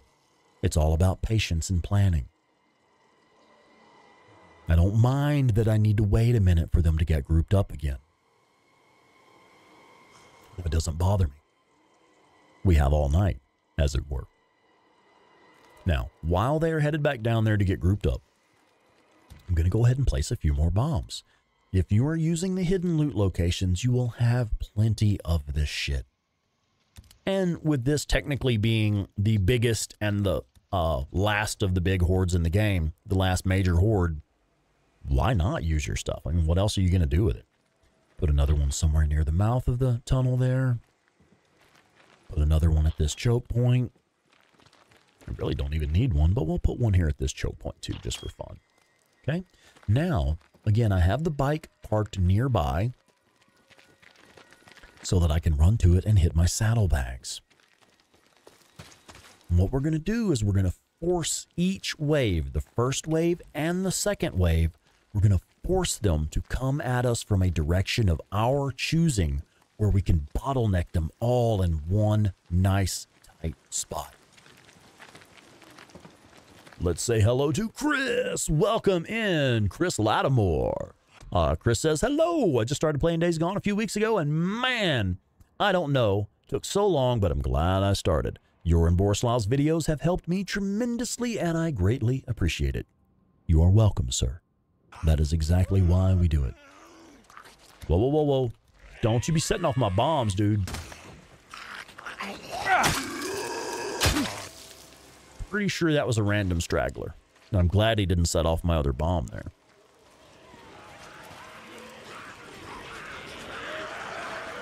The horde is coming at us again. Okay. Are they? Hmm. Well, we may have one that is actually aggroed on us.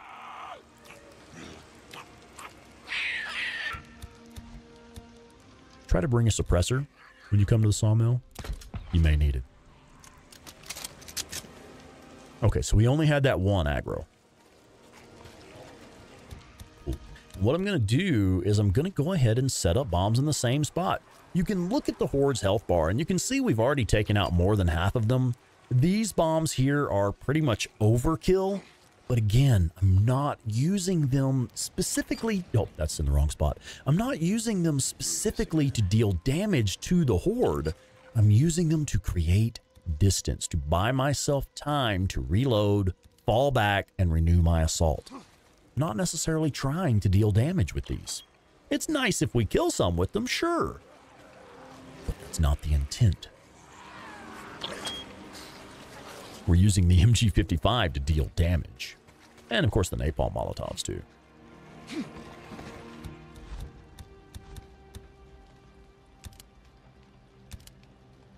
But yeah, what I was saying about throwing the napalm molotovs at the top of the stairs, we weren't throwing them at the freaks to deal damage to the freaks. The thing about the napalm molotovs, they make a spot of fire on the ground that will stay there and continue to burn.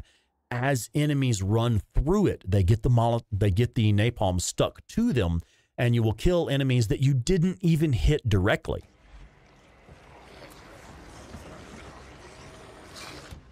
Okay, so we are going to, once again, start with napalm molotovs.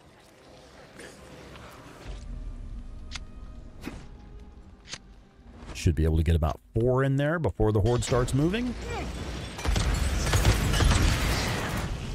Some at the top of the stairs here. So you're creating a path that they, path of fire that they have to walk through just to get close to you. As they try to approach you, bombs start going off, creating distance, buying you time to fall back, reload, renew your assault.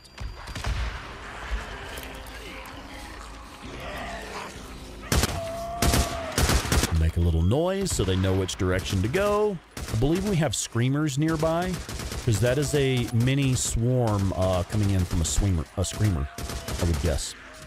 Look at how much damage we've done to the horde. The horde itself is almost done for. Fact, those two right there are likely the uh, that one was the last one. There's no need to get overwhelmed here. Use your tools to create distance and buy yourself time.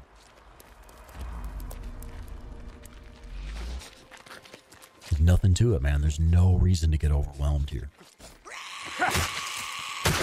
The game gives you everything you need to control the battlefield.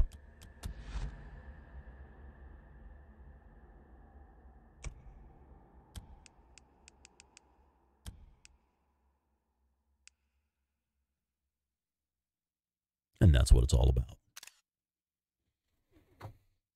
Woo! Shit, that was fun. all right, man. Uh, that's it for me for tonight. Uh, I really appreciate you guys for joining us this evening. Holy shit. Look at the numbers, man. We're at 63 right now.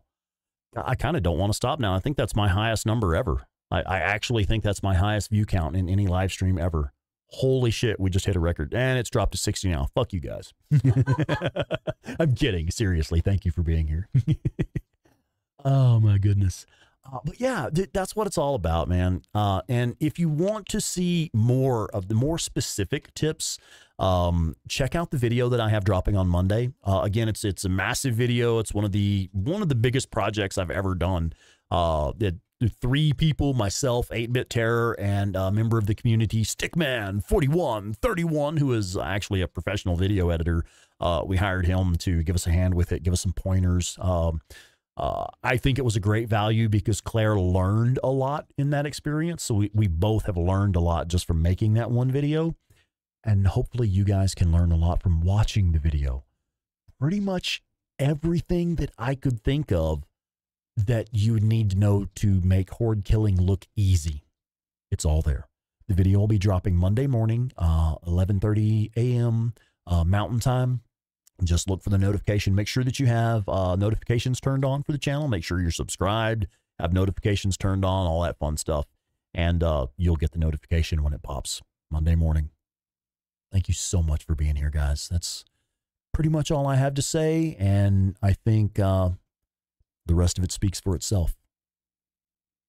Good night, you guys. We'll see y'all next time.